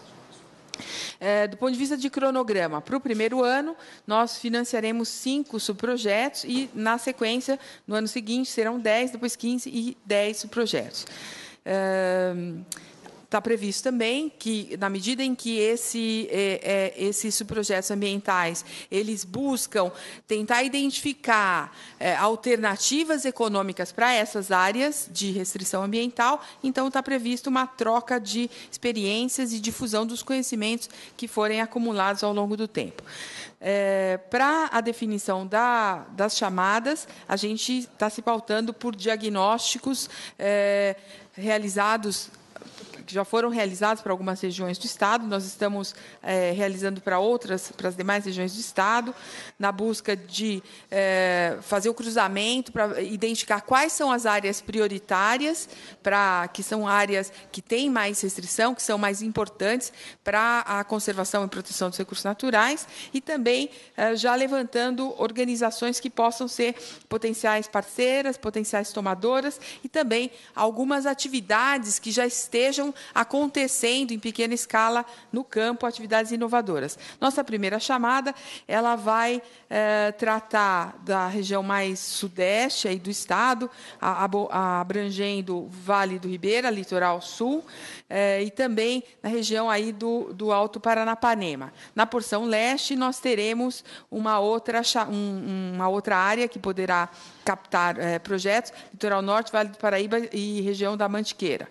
Uma outra, um outro projeto será financiado na região eh, metropolitana, à luz da questão da, da, área de mananciais do Estado, e a região de Ribeirão, Pre, eh, de Ribeirão Preto, por conta do aquífero eh, Guarani.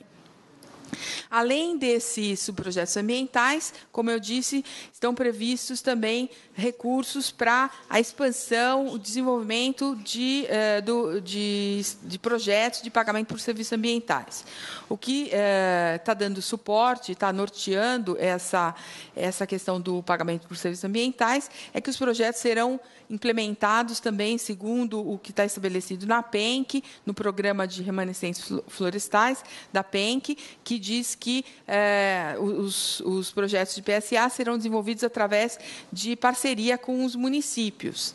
Eh, cada um dos projetos que forem sendo apresentados eh, serão, terão as suas regras definidas por resoluções específicas da pasta. No, nós temos já o primeiro projeto de PSA, que é o Mina d'Água, né, definido pela, por uma resolução, a resolução 123, que já foi objeto de apresentação ao Conselho, é, com, com recursos do projeto do Microbacias 2, nós já é, estamos é, aproveitando esse projeto que já está em andamento, que é o Mina d'Água, para utilizar recursos para uh, desenvolver alguns estudos, capacitações e realizar o monitoramento e avaliação dos impactos desse projeto, para verificar uh, se essa natureza de projeto, de PSA, se o que, que resultados ele produz em termos de de, dos serviços ambientais, em, em, relação à percepção, mudança em comportamento e na percepção dos proprietários que participam, que recebem o pagamento. A SMA também pretende, eh, durante o projeto, articular, buscar alternativas complementares de, de financiamento de, eh, dessa natureza de projetos. Então, aqui o Mina d'Água, né? só alguns dados, a coordenação é da CBRN, está sendo executado por eh, convênios com as prefeituras, prefeituras selecionadas nas várias regiões do Estado. Uh, esses uh, projetos já foram apresentados ao FECOP, que recebeu os recursos, aqui no caso do Minadago são recursos orçamentários, ainda não são recursos do banco, uh, e esses projetos foram apresentados e nós estamos, teremos em breve já o início dos contratos firmados pelas prefeituras junto aos proprietários rurais eh, que fornecerão os, ser, os, serviços. Aqui as, os municípios parceiros que foram selecionados no Estado para participar do projeto Mina d'Água, e aqui os municípios que foram selecionados em condições diferentes do Estado, que serão aí sim avaliados uh, com recursos do PDRS, do Microbacias 2, para que se apreenda uh, mais sobre a, a, os mecanismos, a, a, questão da parceria, das parcerias institucionais, uh, para que sejam, sejam utilizados esses aprendizados na expansão do, dos projetos de PSA no âmbito do, do PDRS. Então, a situação aqui e uh, aqui o nosso contato. E agora acho que a gente poderia verificar quais são as dúvidas para a gente esclarecer. Algum pedido de esclarecimento ou contribuição? Dora, por favor. Opa, eu estava conversando com a Ana Cristina agora há pouco. A gente tem uma dificuldade uh, em Cotia em Calcaia do Alto, exatamente, tem alguns pequenos, mas bem, bem pequenos agricultores e produzem umas hortaliças excelentes. E tinha um problema, porque passavam pessoas, né, que, tipo de atravessadores, que vinham para recolher as verduras, os legumes deles, coisa assim de primeiríssima qualidade. E como são pessoas simples, eles deixavam acreditando que seriam vendidas no Ceasa, em São Paulo. Vinha para o Ceasa, ficava um, dois dias por lá, depois devolviam todos os caixotes, tal qual eles retiraram, eles retiravam né, da, da das chacrinhas e uh, devolviam e tinham que dar para os porcos para comer, porque não dava para aproveitar nada mais. Não sei o que, que, acontecia, se eles não, não, ganhavam dinheiro com isso, ou não queriam, ou outros grandes né, agricultores não permitiam que o, o produto de, delas eram vendidas. E aí a prefeitura agora de 30 dias para cá inaugurou, uh, e o pessoal, a secretária também do CAT da Agricultura aqui de São Paulo esteve presente, eu não me recordo agora o nome dela. E na, na inauguração, então, todos os domingos tem lá uma feira, né, onde as pequenas agricultoras, mulheres, 100%, são mulheres, gente muito simples, e elas vêm e trazem os seus legumes, coisas que se a gente for comprar em qualquer feira no mercado, vai pagar 4, 5 reais, elas vendem 1,50. E são produtos assim, hortaliças excelentes mesmo, qualidade. Então, elas estão vendendo direto do produtor para as pessoas, né, no centro de Cotia, promovido pela Prefeitura de Cotia. Aí o que eu queria perguntar é o seguinte, vieram perguntar para mim, lida na área ambiental, como é que elas poderiam fazer a respeito de nascentes e aproveitar aquela água para irrigar suas plantações, mas muita coisa estava de assoreado. E ela falou, olha, nós não temos uh, dinheiro né, para pedir para um departamento lá em São Paulo, ela nem sabe o que é, para fazer uma tal de outorga. Aí eu procurei, ah, ah, falei para elas que eu iria verificar. E esse projeto, em parte, eu acredito que venha a calhar. Pode não ser uma outorga, como eu estava falando com a Ana Cristina, mas talvez para aproveitar e para proteger, para proteger as APMs e as APPs, as nascentes, e juntando elas, né, uma associação única, e através de entidade, ou pode ser a minha mesmo, Impacto, e montar um projeto para elas na, ali na, no entorno de onde elas residem residem. E e elas plantam, né, a, a, parte da agricultura delas, talvez a gente possa montar. Eu queria saber se dentro poderia, se precisar, por exemplo, de uma área uh, boa lá e para desassorear, se dentro do projeto ele tem essa competência também, para melhorar a água, o entorno que elas têm lá, para produzir mais.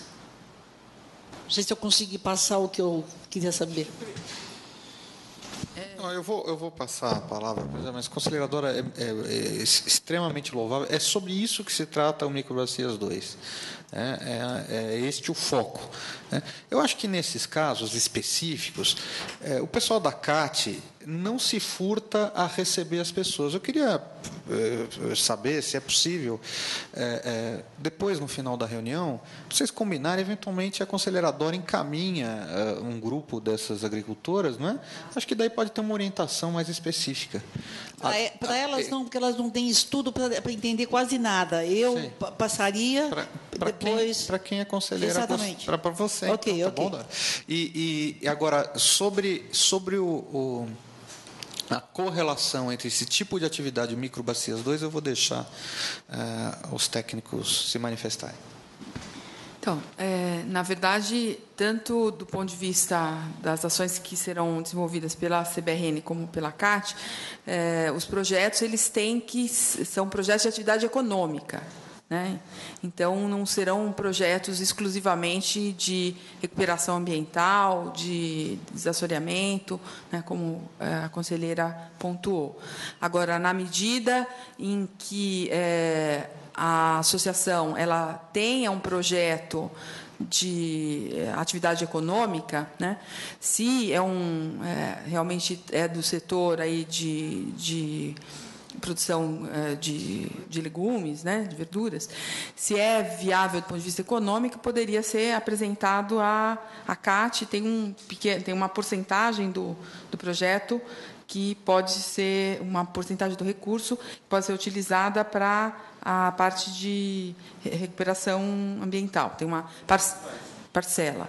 É, na medida em que se tratasse de uma, um projeto de atividade econômica novo, né, que ainda se é uma área importante do ponto de vista de recursos naturais e é, que tenha esse caráter de inovação e é, também ele aí no e tendo dúvidas ainda sobre a sua eh, viabilidade econômica, aí ele estaria mais adequado para apresentação para a CBRN. Também, no nosso caso, a gente tem um, uma porcentagem do recurso que poderia ser utilizado para fazer a parte de, de recuperação, os ajustes eh, mais ambientais. Mas é uma, acho que no nosso caso é 10% do valor total só. E os outros 90% tem que ser com esse viés mais produtivo, né, de, de, é, da, da, produção em si.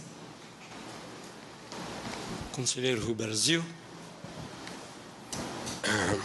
Aproveitando a, a, menção aqui à tal de outorga, é,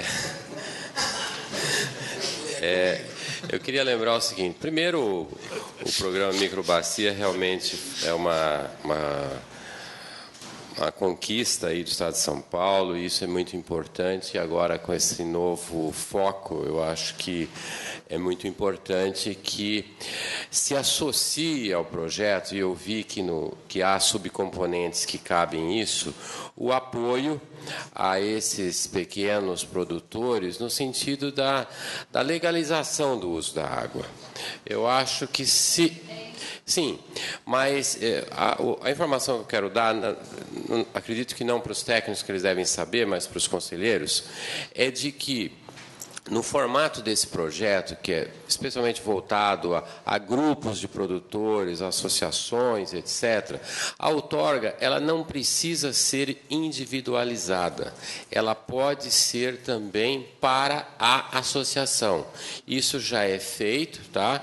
E eu queria que a, a equipe do projeto aí pudesse é, eu acredito que possam, já, talvez já tenham feito isso, mas conversar com o pessoal do DAE, da Diretoria de Outorga e Fiscalização, para ver formatos para desenvolver isso, porque o que a gente quer é buscar a sustentabilidade e a legalização de todo mundo. Né? Então, eu, eu acho que o caminho é esse, vocês têm aí mecanismos, têm componentes para isso, e eu acho que, que é possível levar também essa mensagem a, a, aos agricultores para usar a água de uma forma legal, né? Obrigada, Rui, porque é o seguinte, a gente sabe, no caso ainda em Calcaia do Alto, tem agricultores, pequenos agricultores, e tem, eu estava falando para a Ana, que tem uma, uma porção de água, uma, não é porção, como é que a gente fala? Uma, como se fosse um pequeno Laguinho não. Eu digo a, a, a quantidade de água que vem para esse pequeno produtor que vem lá da, acho que do Morro Grande é, é, é um volume muito grande que daria até para fazer uma pequena PCH, se fosse. Ele tenta limpar uns 30 metros depois e desassorear o lago, mas eles não têm dinheiro para fazer o laudo vegetal, vegetativo, tudo aquilo que o DAE ah, exige. Eles não têm condições, são pequenos agricultores mesmo. E a água está lá.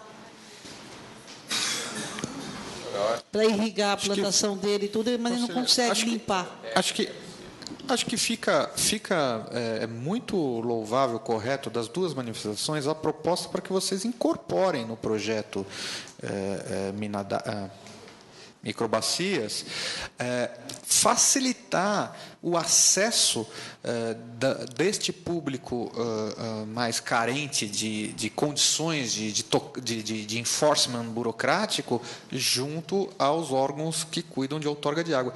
Porque o conselheiro Rui tem toda a razão. Né? se a gente não facilitar, você estimula o uso não legal é, indiscriminado. De maneira que eu acho que isso tem muita correlação com o projeto e é uma excelente contribuição aqui do, do Consema esse projeto. Mas alguém tem alguma observação a fazer? É, é, de, de, fato, faço minha aqui as palavras do conselheiro Rui, o, o projeto é, Microbacias, desenvolvido pela CAT, CBRN, é, junto com o Banco Mundial. Ele, o próprio, os próprios agentes do banco têm esse projeto como case mundial né? É, como uma da, da, dos projetos é, é, de maior impacto socioambiental que o banco financia, foi isso falado claramente, e a equipe técnica realmente gostaria de, em nome do Consema, que vocês transmitissem aos colegas o quão louvável é esse tipo de esforço técnico para tocar com excelência um projeto dessa magnitude. Não havendo mais, consulto aqui o nosso secretário executivo, não havendo mais manifestações e tendo encerrado a nossa ordem do dia, pontualmente às 13 horas, e está encerrada a reunião. Obrigado.